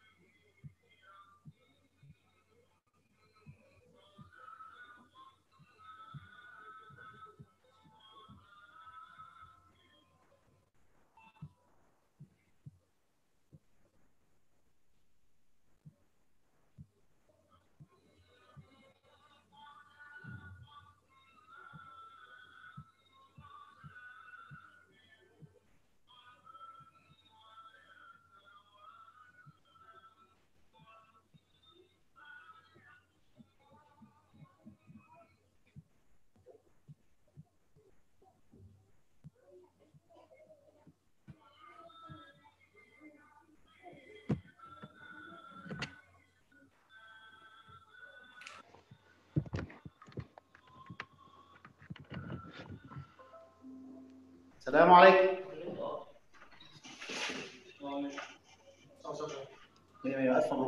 مبروك السلام عليكم. عليكم السلام. معلش يا جماعة أنا آسف جدا. الطريقة إحنا وصلناها بس ما للأسف يعني آه، ما كانش ما كانش الباور شغال. حقوا علينا يعني. آه، هو بس في اتنين كده وقعوا مننا فيا ريت بس تبلغوهم إن إحنا رجعنا تاني معلش. كده الناس كلها سامعانا يا شباب؟ بص أنا قدامي نص ساعة وخلاص أه ساعة واحدة كده. ألف مبروك. آه سامعينك يا باشمهندس. ألف مبروك. ألف ألف مبروك. ألف مبروك. ماشي. هحكي لك التليفون بقى إن شاء الله عشان الكرسي بس. كده هندسة إحنا لسه معانا في اثنين مش موجودين. آه إيه رأيكم؟ نبدأ وخلاص ولا إيه؟ تبعتوا لهم اكتبوا على الواتس كده يا جماعة إن إحنا موجودين يعني. سامحونا معلش والله إحنا وصلنا الكابل بس للأسف آه، ما كانش اشتغل. خلاص إحنا هنكمل يا شباب ان شاء الله عشان الناس الموجودة وقتها بس إيه يعني يا ريت لو تعرفوا تكتبوا كده للناس ان إحنا موجودين يعني. كده يا شباب ال screen باين عندكم ولا مش باين؟ كده desktop موجود lube and bleed يا شباب. ألو؟ ألو؟ تمام يا باشمهندس واضحة تمام. الله ينور عليك يا هندسة ماشي. تمام. تمام يا شباب كده الناس كلها رجعت تاني إن شاء الله. يبقى ده يا جماعة الديزاين بتاع نعم هندسة؟ بتقول إيه يا هندسة؟ لا بقول تمام تمام. طيب يا هندسة تمام إن شاء الله. ربنا يجعله تمام دايما يا رب. ده يا جماعة كده إيه ال lube and bleed. كويس؟ مفهومة؟ نبدأ إن شاء الله دلوقتي نتكلم نرجع شوية برضو عشان نشوف شكل ال- ال reverse بقى عامل إزاي وشكل ال bull ال bull ال bullheading علشان لما نيجي نتكلم على المسألة نقدر نحلها مع بعض إن شاء الله. بصوا يا جماعة ال reverse ال reverse بيبدا بشكل ال graph البير بيكون إيه يا جماعة؟ في completion brine بالمنظر ده هو لونه دهوت وهنا في oil مثلا وهنا في غاز. وبيكون ال SSD طبعا one joint فوق ال packer واضح يا باشمهندس عبد الرحمن؟ عبد الرحمن أشرف؟ تمام. طيب يا باشمهندس. ال case الثانية شكلها عامل إزاي بقى؟ ال case الثانية ال complete الغاز خرج. ارجع تاني معلش نشوف الغاز كان هو الأبيض ده والبني ده الأسود ده ال grey ده اللي هو ال oil. الغاز خرج وال oil بقى هو لسه إيه في البير ال oil وال- وال brine الغاز خرج وحل محله brine ركز معايا في اللي بقوله علشان في المسألة تبقى متخيل اللي أنا بقوله اللي أنا بعمله ده بالظبط. يبقى الأول الغاز خرج ونفس حجم الغاز اللي خرج من فوق حل محله نفس الحجم من ال brine واضح يا مهندسين؟ باشمهندس أكرم محمد تمام؟ واضح؟ أيوه واضح يا باشمهندس. طيب الحالة دي في الحالة دي هندسة ال kill mud وصل فين؟ ال kill mud ملا جزء من ال annulus بس لسه ما وصلش عند ال SSD تمام كده؟ طيب الحالة الثالثه الزيت كمان اللي هو ال grey ده خرج أهو كله وبقى بقت المواسير مليانة ب brine وال annulus فيه جزء brine وفيه جزء وفيه جزء kill fluid وفيه جزء brine. ده kill fluid وده brine. وال tubing مليان brine بس. دي الحالة section stage 3 طيب هتقول لي هو ليه ال kill mud ما وصلش؟ هقول لك لأن حجم ال annulus أكبر من حجم ال tube. فطبيعي إن ال kill mud لسه ما وصلش عند ال SSD واضح يا باشمهندسين؟ يبقى رقم واحد تاني الغاز وال- وال oil. رقم اثنين الغاز خرج وبقى oil و brine جوه بره brine brine و kill mud الخطوة الثالثه brine بس جوه brine بيدخل و brine بيخرج. ركز معايا. brine هيدخل و brine يخرج. وبالتالي hydrostatic جوه المواسير هيفضل إيه؟ ثابت. لغاية ما يبدأ ال kill fluid يدخل يبدأ ال hydrostatic يتغير. صح يا باشمهندس أكرم؟ أيوه يا باشمهندس. تمام.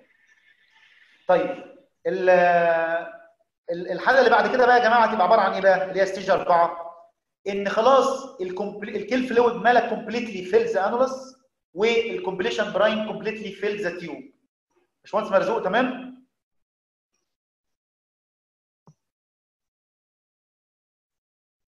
طيب ممكن يكون مش سامعني. هنا ال completion ال kill fluid completely fill the annulus وال completion brine completely fill the tube الحالة الخامسة والأخيرة ان أنا عملت displacement ابتدى ابتدى ال kill fluid اللي في ال annulus يدخل في ال tube ويطلع من فوق. خمس مراحل يا جماعة نقولهم تاني مع بعض معلش عشان مهمين جدا وإحنا بنشرح المسألة بعد كده نفهمهم رقم واحد غاز و... غاز و oil جوه وبره ال completion brine وال kill mud لسه ما نزلش.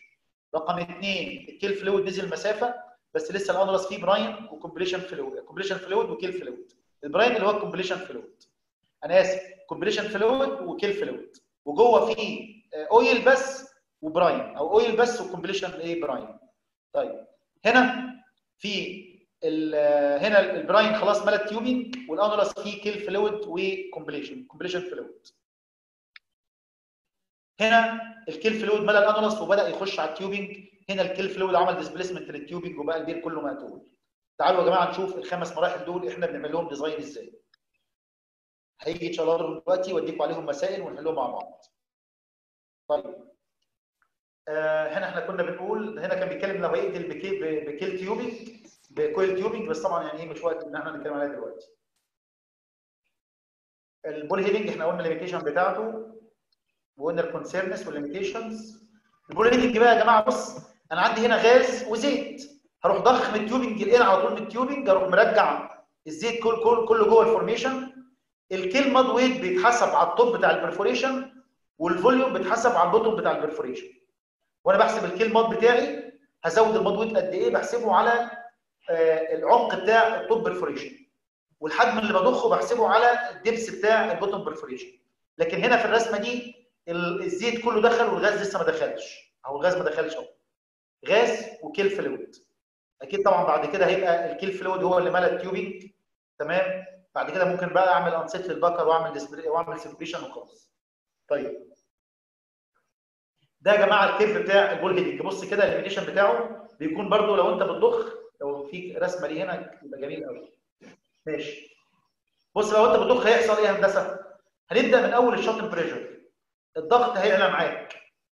وبعدين لما الطبقة تبدأ تاخد هيبدأ الضغط يقل يقل يقل يقل يقل لغاية ما تخلص الحجم كله بتاع البير وبعدين تبطل ال pump الضغط هينزل لل zero أقول تاني هنبدأ من هنا كده وأنت بتبدأ pumping هيبقى فيه الضغط هيزيد معاك ليه؟ دلوقتي انت معاك ضغط على رأس البير وليكن 1000 وعاوز مثلا كمان 500 لل friction loss يبقى 1500 وبعد كده وانت بتضخ يبدأ ال kill يزيح الايه يزيح الغاز والزيت جوه ال formation وال tubing وال tubing تتملى ب kill mud ويبدأ الضغط يقل يقل يقل لغاية ما آه، عمل displacement الحجم كله. وهنا إذا بطلت ال pump هتلاقي الضغط نزل لل zero تاني. يبقى طبعا وأنت شغال بت pumping ما ترفعش عن القيمة اللي فوق عشان ما تكسرش ال formation وما تقلش عن القيمة اللي تحت عشان ما تاخدش influx تاني. طب دي هندسة هعملها إزاي؟ كل حاجة لها design طبعا. طيب تعالوا يا جماعة بقى إيه ناخد المسألة بتاعت ال- ال- ال reverse هناخد مسألة ونشوف الرسمة بتاعتها إن شاء الله. بس إيه إحنا دلوقتي الساعة كام معاكم؟ الساعة كام دلوقتي عبد الله؟ شوف الساعة كام. عبد الله عبد الله عبد الله شوف الساعة كام. الساعة 12 12 وربع طيب الساعة 12 ربع يا شباب عشان الناس تبقى مركزة معايا و fresh كده بالظبط خمس دقائق اللي عاوز يجيب كوباية شاي أو يشرب مية أو يعمل break ice كده وبعد خمس دقائق إن شاء الله خ- 12 و 17 دقيقة هنبدأ نتكلم على المسائل بتاعة ال reverse killing وال design بتاعها إزاي. الموضوع ده مهم جدا إن شاء الله إحنا نفهمه وهنحله خطوة خطوة وبعدين إن شاء الله ابعت لكم بعد كده بإذن الله مثال تحلوه وتبعتوا لي الإجابات على ال group بإذن الله. 12 و17 أو 12 و18 هنرجع إن شاء الله. اتفضلوا لما أنت بتخلي دخلك مجبرين ليه دي؟ نعم هندسة؟ طب لو سمحت يا باشمهندس. نعم. طب طب حضرتك ممكن ممكن تضيفنا في ال group ده عشان إحنا مش فيه بس. طيب آه، ال- ال- أنتوا ممكن تبعتوا لمستر تامر آه، اللي هو الرقم آه، هات كده نشوف الرقم كمان أقول لهم عليه. الرقم بتاع ال- الرقم اللي اللي هو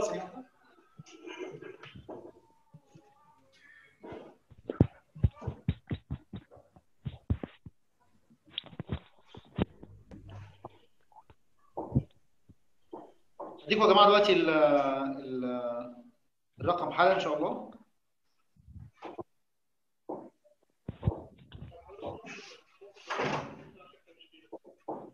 طيب حالا إن شاء الله هضيفكم بإذن الله حالا.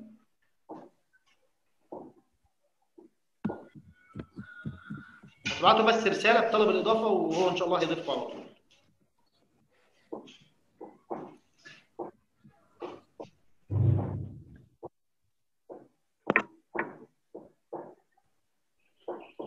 بصوا يا باشمهندسين هو الرقم 010 22 16 010 010 22 16 096 كويس. وهو يعني لو في مش عارف تمام يا مش عارف باشمهندس. معمول لكم group ولا مش معمول لكم group يعني؟ و... أو ممكن أو ممكن عن طريق ال- ال- الرقم بتاع الباشمهندس اللي هو عمل الإعلان اللي هو في رقم تاني 010 10 18 72 37 010 10 18 72 37 آه، عن طريق الرقم ده والرقم ده تواصلوا معاهم هم إن شاء الله هيعملوا لكم group واتس ونقدر من خلاله إن شاء الله أبعت لكم ال material اللي أنا شرحتها النهارده. أبعت لكم ال material إن شاء الله وأبعت لكم مسائل مسألة عليها بإذن الله نحلها مع بعض وتبعتوا لي الإجابات إن شاء الله. تمام يا باشمهندس. ماشي يا جماعة إن شاء الله يعني إحنا كده 12 و15 12 و20 بالظبط هنبدأ المسألة بإذن الله.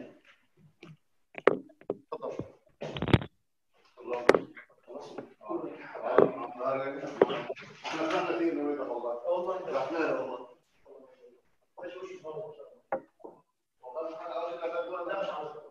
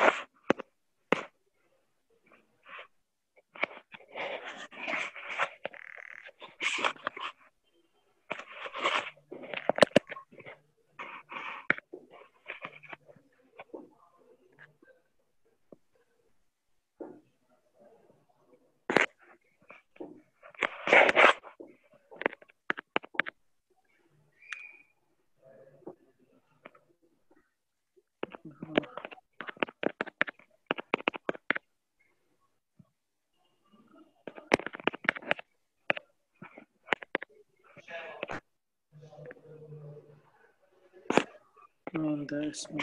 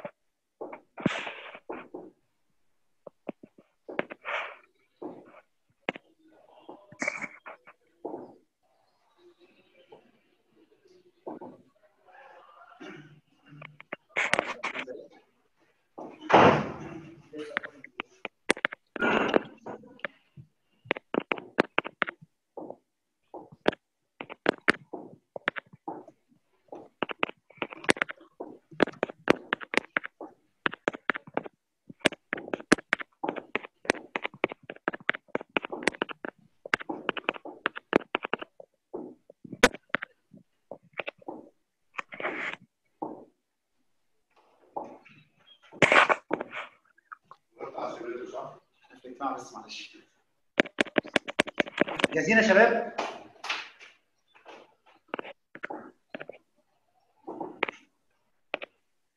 أوكي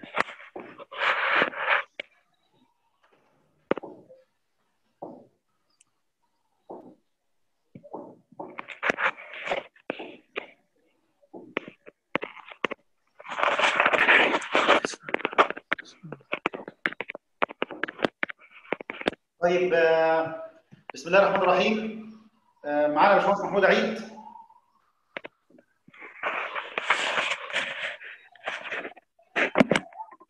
باشمهندس محمود عيد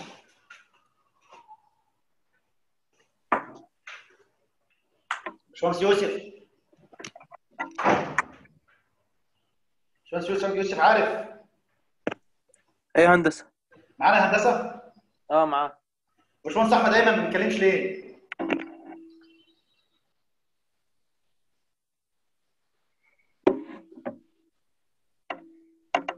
طيب تمام. بصوا يا شباب ال design بقى بيبدأ كالآتي؟ أنا عاوز املا اتي للبير ب kill mud gradient هيكون مثلا point 465 وعمق ال circulation device اللي هو ال SSD 7000 قدم يبقى أنا عاوز أحافظ على ضغط عند ال SSD طول الوقت 3255 psi حلو الكلام يا هندسة؟ حلو الكلام. أنا عندي ال casing head pressure عند ال start. هيبقى عبارة عن إيه؟ طبعا المسألة من الأول خالص. معلش هنرجع المساله عشان تبقوا معانا من الأول. بص بقى يا سيدي دي ال data بتاعتي. ال SSD 7000 وال annulus مليان fluid gradient point 425 وال tubing fluid gradient آه عندك الجاز آه 9 من 100 psi per foot 3000 قدم غاز وتحتهم آه من ال 3000 للسبعة اللي هم ال 4000 دول oil gradient point 35 psi per foot. ال kill mud gradient point 465 في حين إن ال annulus fluid point 425 وراح مديك ال tubing capacity وال annulus capacity وقال لك يلا يا عم عاوز اقتل البير ده واعمل لي design كده ل reverse killing plan دي ال data هي يا جماعة كلها. أنا أول خطوة بعملها إيه بعد ما باخد ال data دي إن أنا بقول أنا عايز الضغط يبقى عند ال SSD طول الوقت بيساوي إيه؟ ال kill mud gradient اللي هو point 465 في 7000 اللي هو point 3 2 5 5 psi في أول ال killing نص ساعه بالظبط هكون إن شاء الله. نص ساعه كل لا خلاص. في أول ال killing هيكون ال tubing فيه ال casing طبعا يا جماعة اللي هو ال annulus يعني. في الأول هيكون فيه الضغط قد إيه؟ أنا عاوز عند ال SSD 3255 وأنت عندك brine point 425 وعمق ال SSD 7000 ال brine اللي في ال annulus hydrostatic بتاعه 2975 PSI بس أنا عاوز ضغط على ال SSD يبقى كام؟ 3255 ما أنا عاوز الضغط في ال annulus الرقم ده والضغط في ال tubing هو نفس الرقم. يبقى أنا في بداية ال circulation هيكون عندي 280 PSI back pressure على الايه على ال annulus طيب وال tubing في الأول هيكون الضغط فيه قد إيه؟ أنا عاوز 3255 منهم ده hydrostatic الغاز وده hydrostatic الزيت 4000 قدم و3000 قدم وكل واحد في ال gradient بتاعه. مجموع دول كام؟ 1670 طرحناهم من الضغط اللي أنا عاوز أحافظ عليه. يبقى أنت عاوز في البداية خالص ال tubing يكون عليها 1585 وال casing يكون عليها 280 طيب يا هندسة حافظ على دول إزاي؟ بال choke يا هندسه بال choke تعمل back pressure 1585 هتلاقي ال annulus لوحده مظبوط. يبقى بداية ال circulation أول ما تشغل ال pump بتاعتك هبدأ أعمل pumping في الأول خالص هكون محافظ على ال casing 280 وهيكون ال tubing 1585 طيب المرحلة الثانية هندسة الراجل حسب حجم ال tubing كله كام؟ ال tubing capacity كله 48 برميل. منهم حجم غاز قد إيه؟ 3000 قدم في ال barrel per feet بتاع الغاز 20 برميل غاز وبرده نفس الكلام حجم الغاز 4000 قدم في ال barrel per feet 27 برميل زيت يبقى 27 و20 مع الكسور يديك حوالي كام؟ حوالي 48.65 برميل ده يا جماعة حجم الغاز والزيت. طيب ال casing حجمه قد إيه؟ برضه ردنا ال annulus capacity اللي هو كان مديها لنا في المسألة في الأول اللي هي 0.27 اهيت. بص ال annulus كان كام؟ 0.2703 اهي وال tubing اهي 0.00695 ال point 0.27 دي يا جماعة ال point 0.27 دي بضربها في ال 7000 كلهم بتاع ال annulus يديني 189 برميل. يبقى ال annulus أكبر من ال tube ولا لأ؟ 189 برميل وال tubing 48 برميل. الحجم كله الحجم بتاع البير كله هيبقى 189 وال 48 مجموعهم 237 برميل. هضخهم لغاية ما أخلص ال circulation كده أنا خلصت ال tubing وال annulus. السؤال هنا يا جماعة بيبقى إزاي؟ هيبقى casing pressure بعد ما أضخ 20 برميل هيبقى تتوقع يكون كام؟ عشان تعرف تحافظ عليه بال choke بص الفكرة إيه بقى؟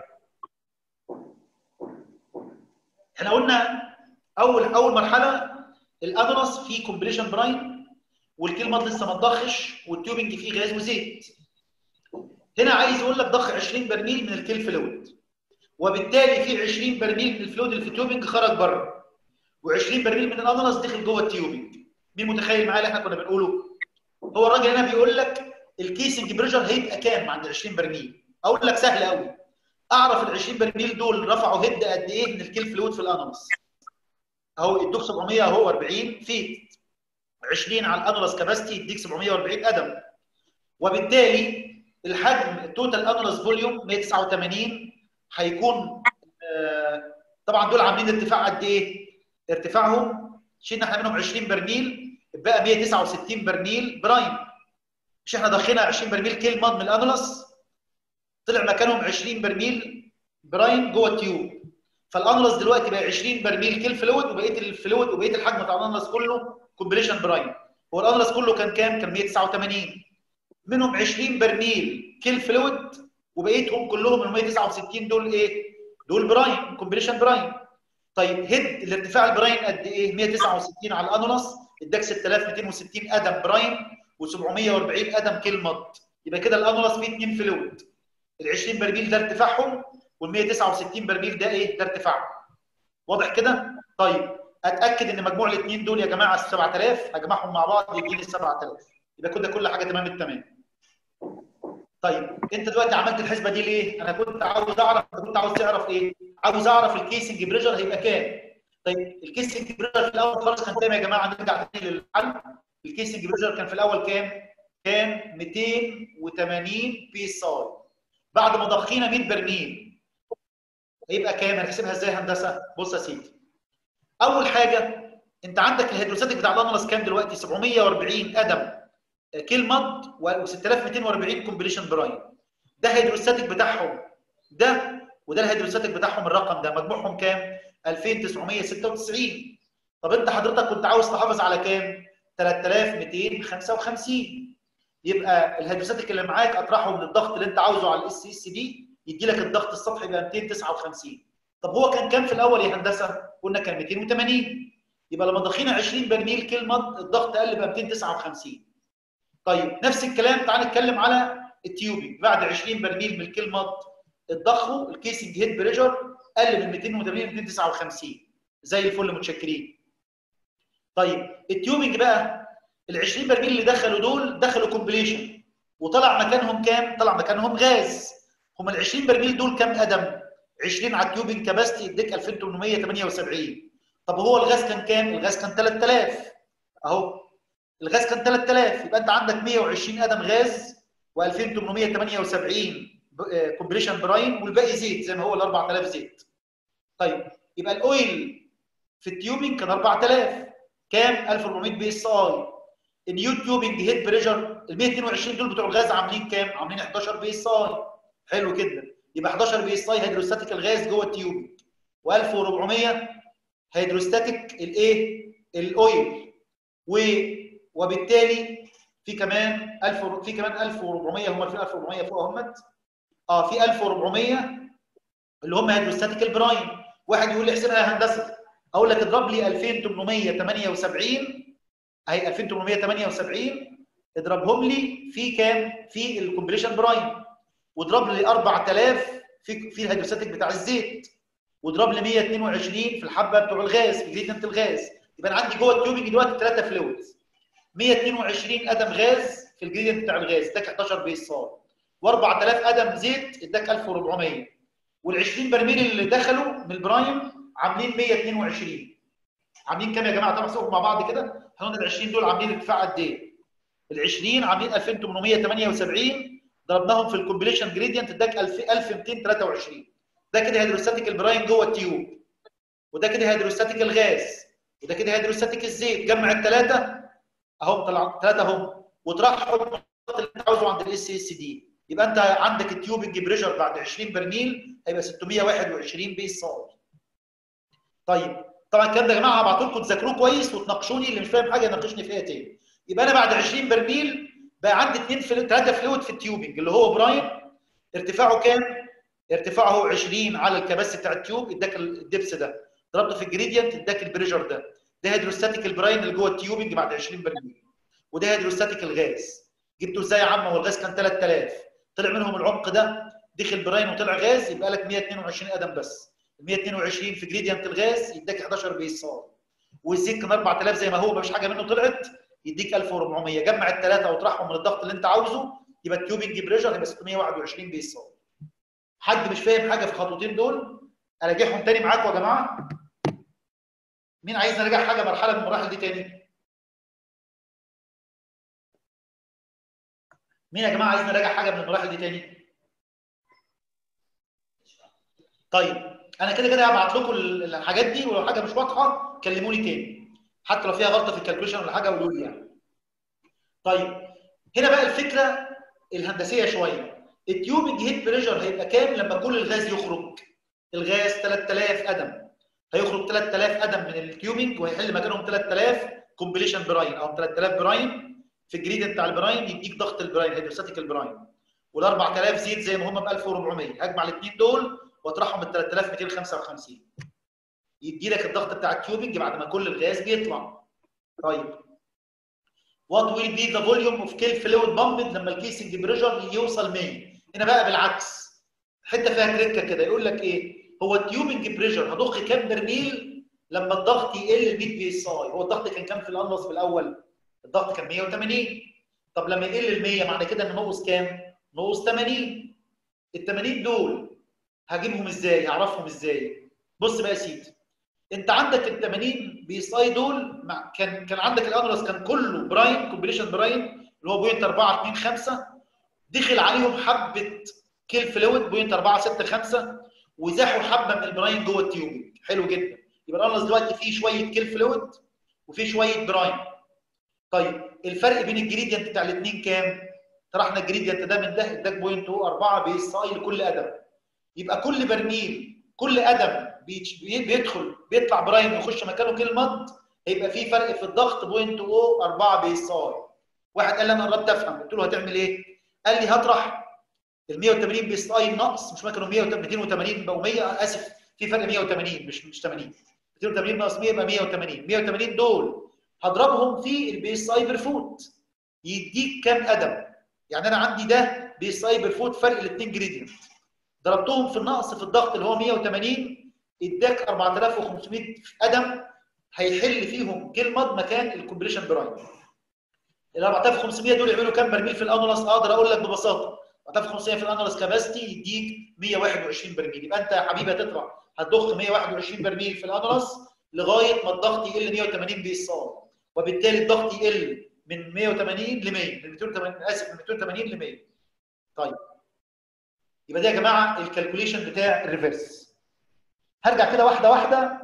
وعايز إحنا لسه معانا وقت إن شاء الله. عايز حد يقول لي أول خطوة عملناها what will be the casing head pressure after 20 برميل الأول خالص نجيب ال tubing pressure وال casing pressure أهو دول في الأول خالص. واحد يش- يشرح لي ال slide ده. أهو. هو ال kill fluid ال tubing pressure ال casing pressure 280 جبناه إزاي؟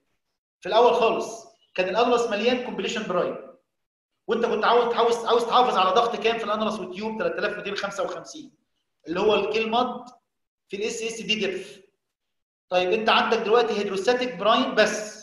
ال brine hydrostatic بتاعه كام؟ 0.425 في 7000 طرحناه من الضغط المطلوب آه، توقيعه على ال SSD يبقى لك 280 أنا شرحت لكم اول جزء اهو. عايز حد يقول لي ال tubing حسبنا إزاي الضغط عند بداية ال circulation مين يقول الحتة دي؟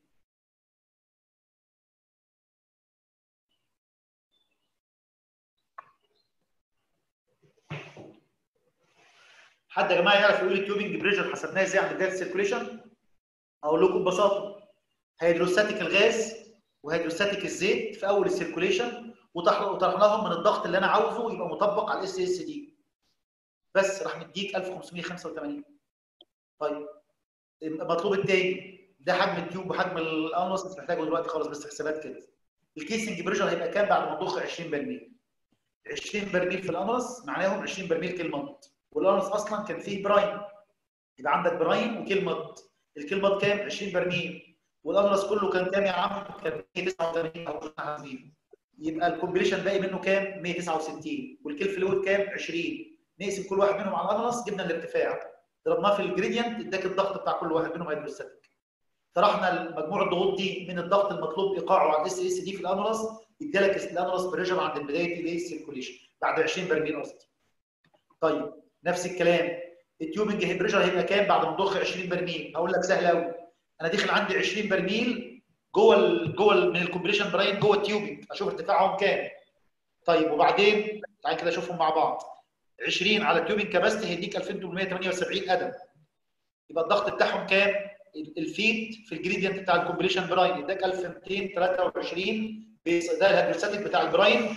ال 20 برميل ال brine اللي دخلوا جوه ال tube.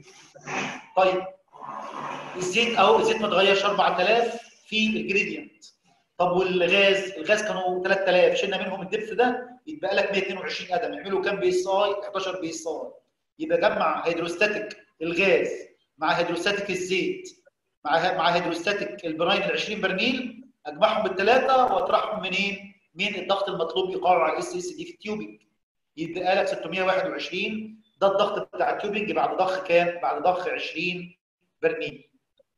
طيب المطلوب اللي بعد كده ال tubing head pressure هيبقى كام؟ لما كل الغاز يخرج لما كل الغاز يخرج عايز ال tubing pressure. أصبح ال tubing فيه حاجتين 3000 قدم brine و4000 قدم إيه؟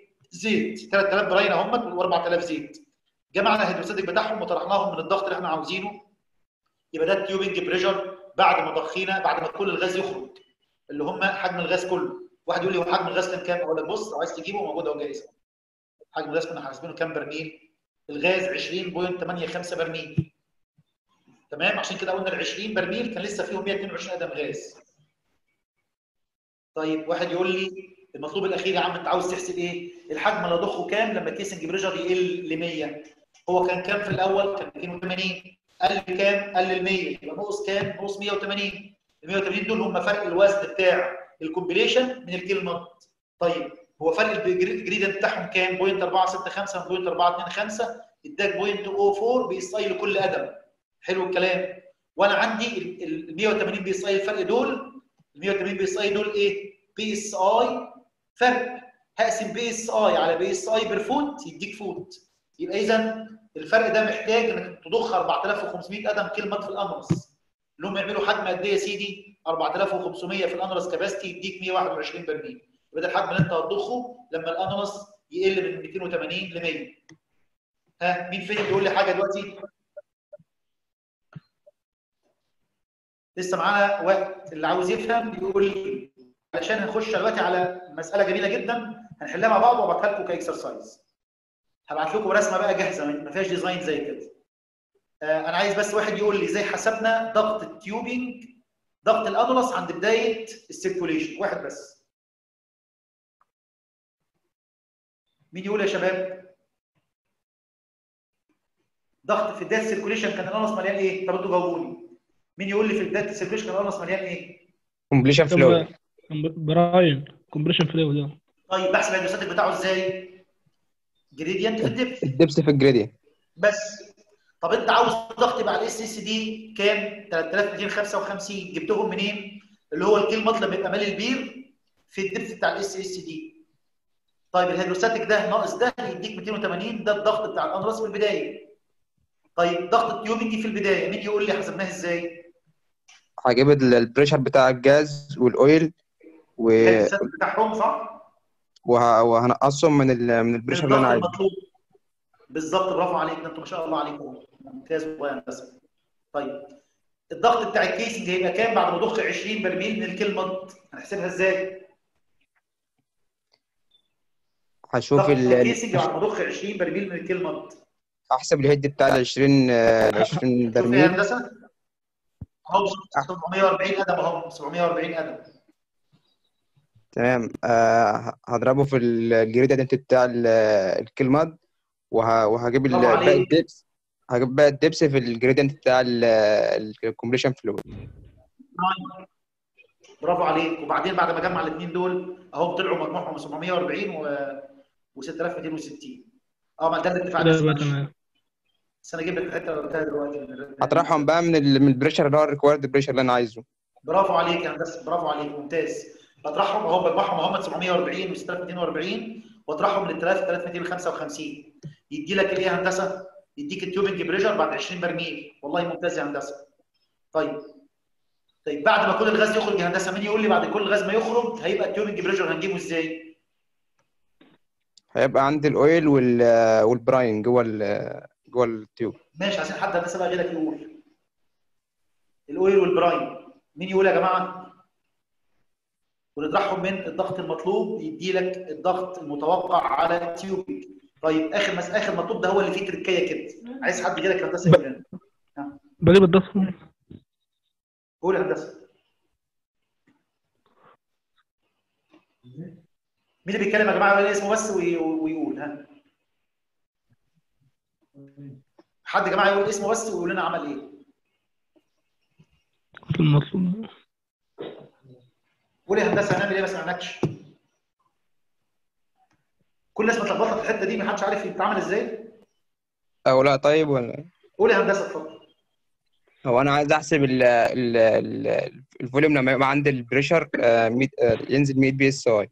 لا لما الضغط يوصل 100 psi في ال annulus لما الضغط يوصل 100 psi فهشوف. الفرق هيطلع ميت- آه، 280 ناقص 100 هيبقى معايا 180 آه، يبقى أنا الضغط معايا هيقل 180 psi تمام. صح؟ يبقى تمام. أنا هضخ حجم معين من ال kill يزيح حجم معين من ال brine والضغط في ال annulus يقل 180 معناه. إن فرق فرق الاثنين gradient في حجم قد إيه ينزلك الضغط ال 180 دول. تمام.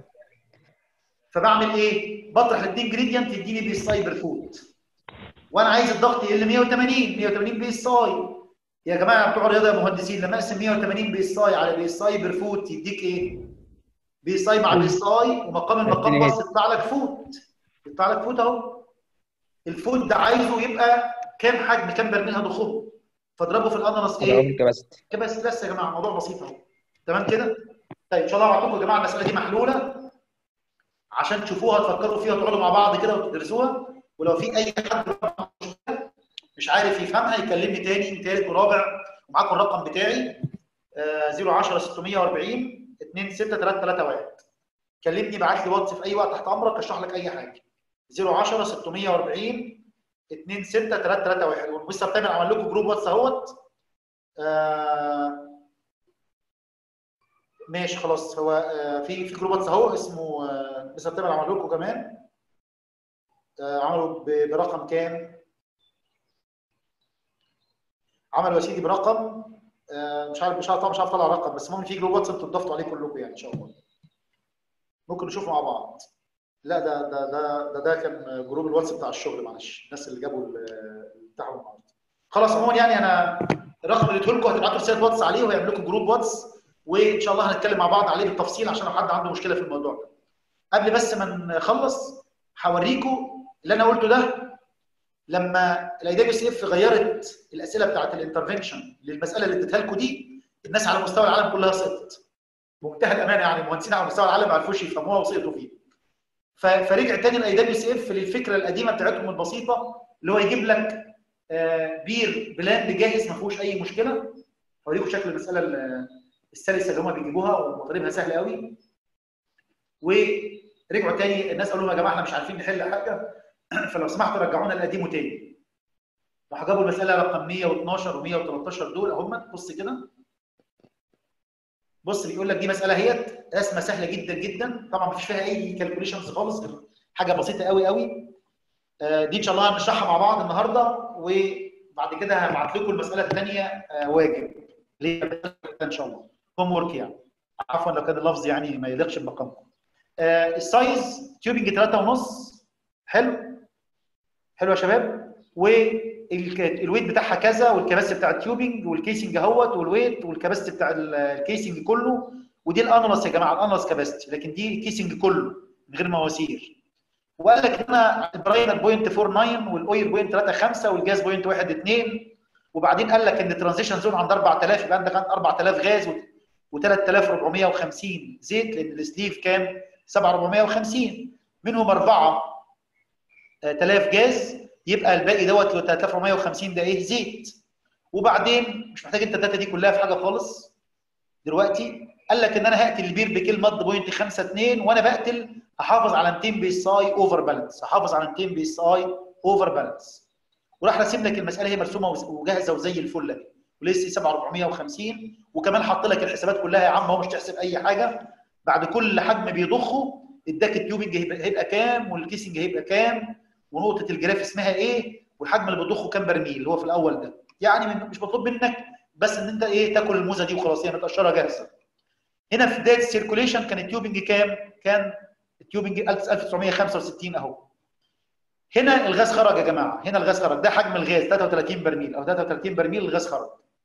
وبعد كده هنا ال- الزيت خرج. واحد يقول لي الله يا باشمهندس انت عرفت إزاي؟ أقول له هندسه مش انت عندك ال tubing capacity اهو مديها لك. مش انت عندك ال tubing capacity هي point 083 وانت عندك الغاز 4000 قدم. اضرب 4000 في ال capacity بتاع ال tubing يديك حجم الغاز. وبعدين ال 3450 اضربهم في حجم ال tubing يديك حجم الزيت. وخلاص يا هندسة. يبقى ده يا جماعة إيه؟ حجم الغاز. غاز خرج. هنا الزيت خرج. هنا المرحلة الثالثة اللي هو brine بيدخل و brine بيخرج. فاكر لما كنا بنتكلم على ال reverse؟ وفضل الراجل محافظ على 202 psi هم 202 202 202 محافظ عليهم بال choke back pressure.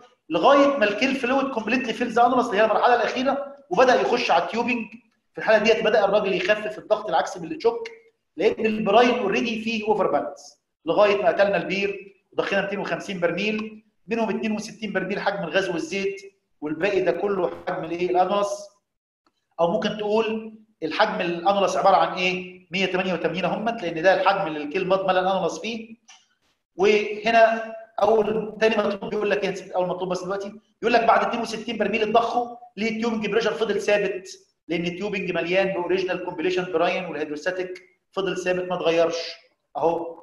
بيقول لك يا جماعة ليه بعد 62 برميل فضل ضغط ال tubing ثابت؟ لأن brine بيدخل و brine بيخرج يبقى ال hydrostatic ثابت مش هيتغير. يبقى ال tubing مليان ب original completion brine. الغاز والزيت خرجوا الاثنين الغاز والزيت خرجوا اهو تعالى هنا كده. الغاز خرج أهوت والزيت خرج وبدأ ال- ال- ال- المواسير مليانة completion brine. يدخل completion brine من هنا ويخرج completion brine من فوق. خلاص الغاز والزيت دول خرجوا خلاص. دي مرحلة من المراحل اللي كنا بنتكلم عليها في الرسم. طيب يقول لك هو الحجم الكلي بتاع ال annulus كام؟ أقول له يا عم الحاج ال annulus ده هو الحتة دي لأن النقطة دي هي اللي ال kill fluid. ملى ال annulus فهو 188 برميل أو هو الحجم الكلي ناقص حجم الغاز والزيت ناقص حجم ال tube. يعني 250 ناقص 62 برضه هيديك 188 واحد يقول لي يا عم أنا عايز أخدها كده ولا كده؟ أنا عاوز أحسبها. قلت له يا عم ما تزعلش. أنت هتاخد ال annulus capacity عندك كام؟ point O 252 اضربها لي يا عم في ال 7450 بتوع ال SSD روح مديك ال 187 ونص أو 188 بأي طريقه تعجبك أنت كده جبت حجم الإيه؟ ال annulus يبقى مطلوب دوت حجم ال annulus كام؟ 188 أول تاني تجيبها من على ال graph. 188 أو الحجم الكلي ناقص الزيت والغاز أو تحسبها حسابيا مفيش أي مشكلة. المطلوب اللي بعد كده ال tubing head pressure ما بين نقطة C و D لو خلاه 150 مكان 100 مكان 202 هو الراجل أصلا كان قايل لك في ال killing إن هو محافظ على كام overbalance يا جماعة. 200 لو حسبتهم مع ال formation pressure اللي مديهولك ده هتلاقيه محافظ على 200 فعلا طيب فلما الضغط يقل ل 150 إيه المطلوب هنا في المسألة؟ هل هيبقى البير underbalance لا طبعا مش underbalance ده هو محافظ على 200 overbalance فلما يقل 150 برضه معاه overbalance 100 برضه overbalance 50 برضه overbalance يبقى اذا ده غلط. يبقى دي false فين النقطة يا عم اللي ال new kill fluid ملا جزء من ال annulus وكل الغاز خرج؟ أقول لحضرتك ببساطة كل الغاز خرج عند نقطة B B بس كده الله ينور عليك يا هندسة. القال ده ممتاز. بس أدي المسألة ببساطة. أنا بس سبت أول مطلوب في المسألة أقول لكم عليه وبعدين أسيبكم تفكروا في المسألة الثانية ك homework وطبعا المسألة الثانية مختلفة شوية لأن ال kill mud أخف من ال brine. فممكن إن شاء الله نبقى نشرحها على ال group أعمل لكم record كده message ونناقشها مع بعض. أو نبقى نعمل session تاني سريع كده لل group ده. ال- ال bottom hole pressure عند ال SSD لما وصلنا عند نقطة سي في نقطة سي دي يا سيدي نقطة سي هي لما الغاز والزيت خرجوا. عايز إيه يا عم؟ عايز الضغط عند ال SSD لما الغاز والزيت يخرجوا. طيب يعني البير مليان ب tubing مليانه بإيه؟ مليانه بال brine. هو ال brine gradient بتاعه كام؟ ال brine ال brine مين اللي فاكر؟ point 4 9 في عمق ال SSD كام؟ 7450 طيب هو في ضغط فوق على ال tubing كمان؟ أيوه في 202 على ال tubing أهو. يبقى هضرب ال point 49 في ال 7450 وأجمع معاهم ال 202 يديك 3852 ونص psi يبقى دي يا جماعة المسألة دي هقولهم تاني بسرعة. ال bottom pressure عند نقطة C بحسب ال point 49 بتاع ال brine. مضروب في 7450 زائد 202 يطلع 3852 ونص. بعد 62 برميل ليه كان الضغط ثابت؟ هنا لأن الغاز والزيت خرجوا و brine بيدخل و brine بيخرج. يبقى دي نقطة إن ال tubing is filled with completion brine طيب السؤال اللي بعد كده إيه ال total volume بتاع ال annulus قلت لك اللي هو 188 لأن هنا بدأ ال completion brine يدخل أو تحسبها أو الحجم الكلي ناقص ال 62 أي طريقة تعجبك؟ طيب المطلوب اللي بعد كده لو ال tubing head pressure كان 150 بدل 202 هل هيبقى البير under balance طبعا لأ لأن هو محافظ على 202 over balance في النقطه اللي كل الغاز خرج وال new kill fluid ملأ جزء من ال annulus هي نقطة B دعوني أسألكم أنا فين النقطة يا جماعة اللي ال oil خرج فيها؟ في نقطة ال oil خرج فيها من الرسم C برافو عليك يا هندسة. ممتاز. إن شاء الله هبعت لكم على ال group النهارده بإذن الله ال- المسألة دي المسألتين الكبار وال calculations وكمان عشان تذاكروا ال calculation بتاع الحسابات وتذاكروا المسألتين دول. ولو ما فهمتوش المسألة الثانية إن شاء الله نعمل session تاني نحلها مع بعض أو نعمل record كده voice message على ال group بتاعنا بتاع الواتس إن شاء الله. أنا شاكر اهتمامكم ولو حد عنده أي سؤال تحت امركم في أي وقت، حد أي حد حاليا أو بعد كده عنده confusion في أي نقطة يسألني مفيش مشكلة. حد يا جماعة يسأل عن أي حاجة قبل ما نقفل؟ طب حد فهم حاجة طيب؟ الحمد لله تمام أنا حاسس الموضوع لا، تمام يا باشمهندس تمام تمام ربنا. يكرمك فهمنا بجد يعني ولا من غير مجاملات؟ الحمد لله تمام والله جدا معايا تمام تمام كويس طيب يا جماعة ده يا جماعة كده أنتوا تعتبروا تعتبروا يعني معاكم 90% من مادة ال completion operation في فتبقى جاهز إن شاء الله بعد كده إنك تاخد course له قيمة جدا اللي هو ال IWCF well intervention النهارده كان عندنا ثلاث مهندسين ما شاء الله كلهم average 92% يعني. كلهم مش مهندسين بترول كمان مهندسين ميكانيكا وكهرباء طبعا مع احترامنا ليهم يعني. فبس شغالين في شركات service وكده. فإن شاء الله موفقين وبإذن الله نشوفكم في مرات ثانية ونكمل بإذن الله sessions ثانية مع بعض وفي مواضيع ثانية بإذن الله. شاكر اهتمامكم وحسن انصاتكم ألف شكر. ألف شكر هندسة. ألف شكر يا هندسة. شكرا في رعايه الله في رعايه الله اسمع معنا. وعليكم السلام ورحمة الله وبركاته.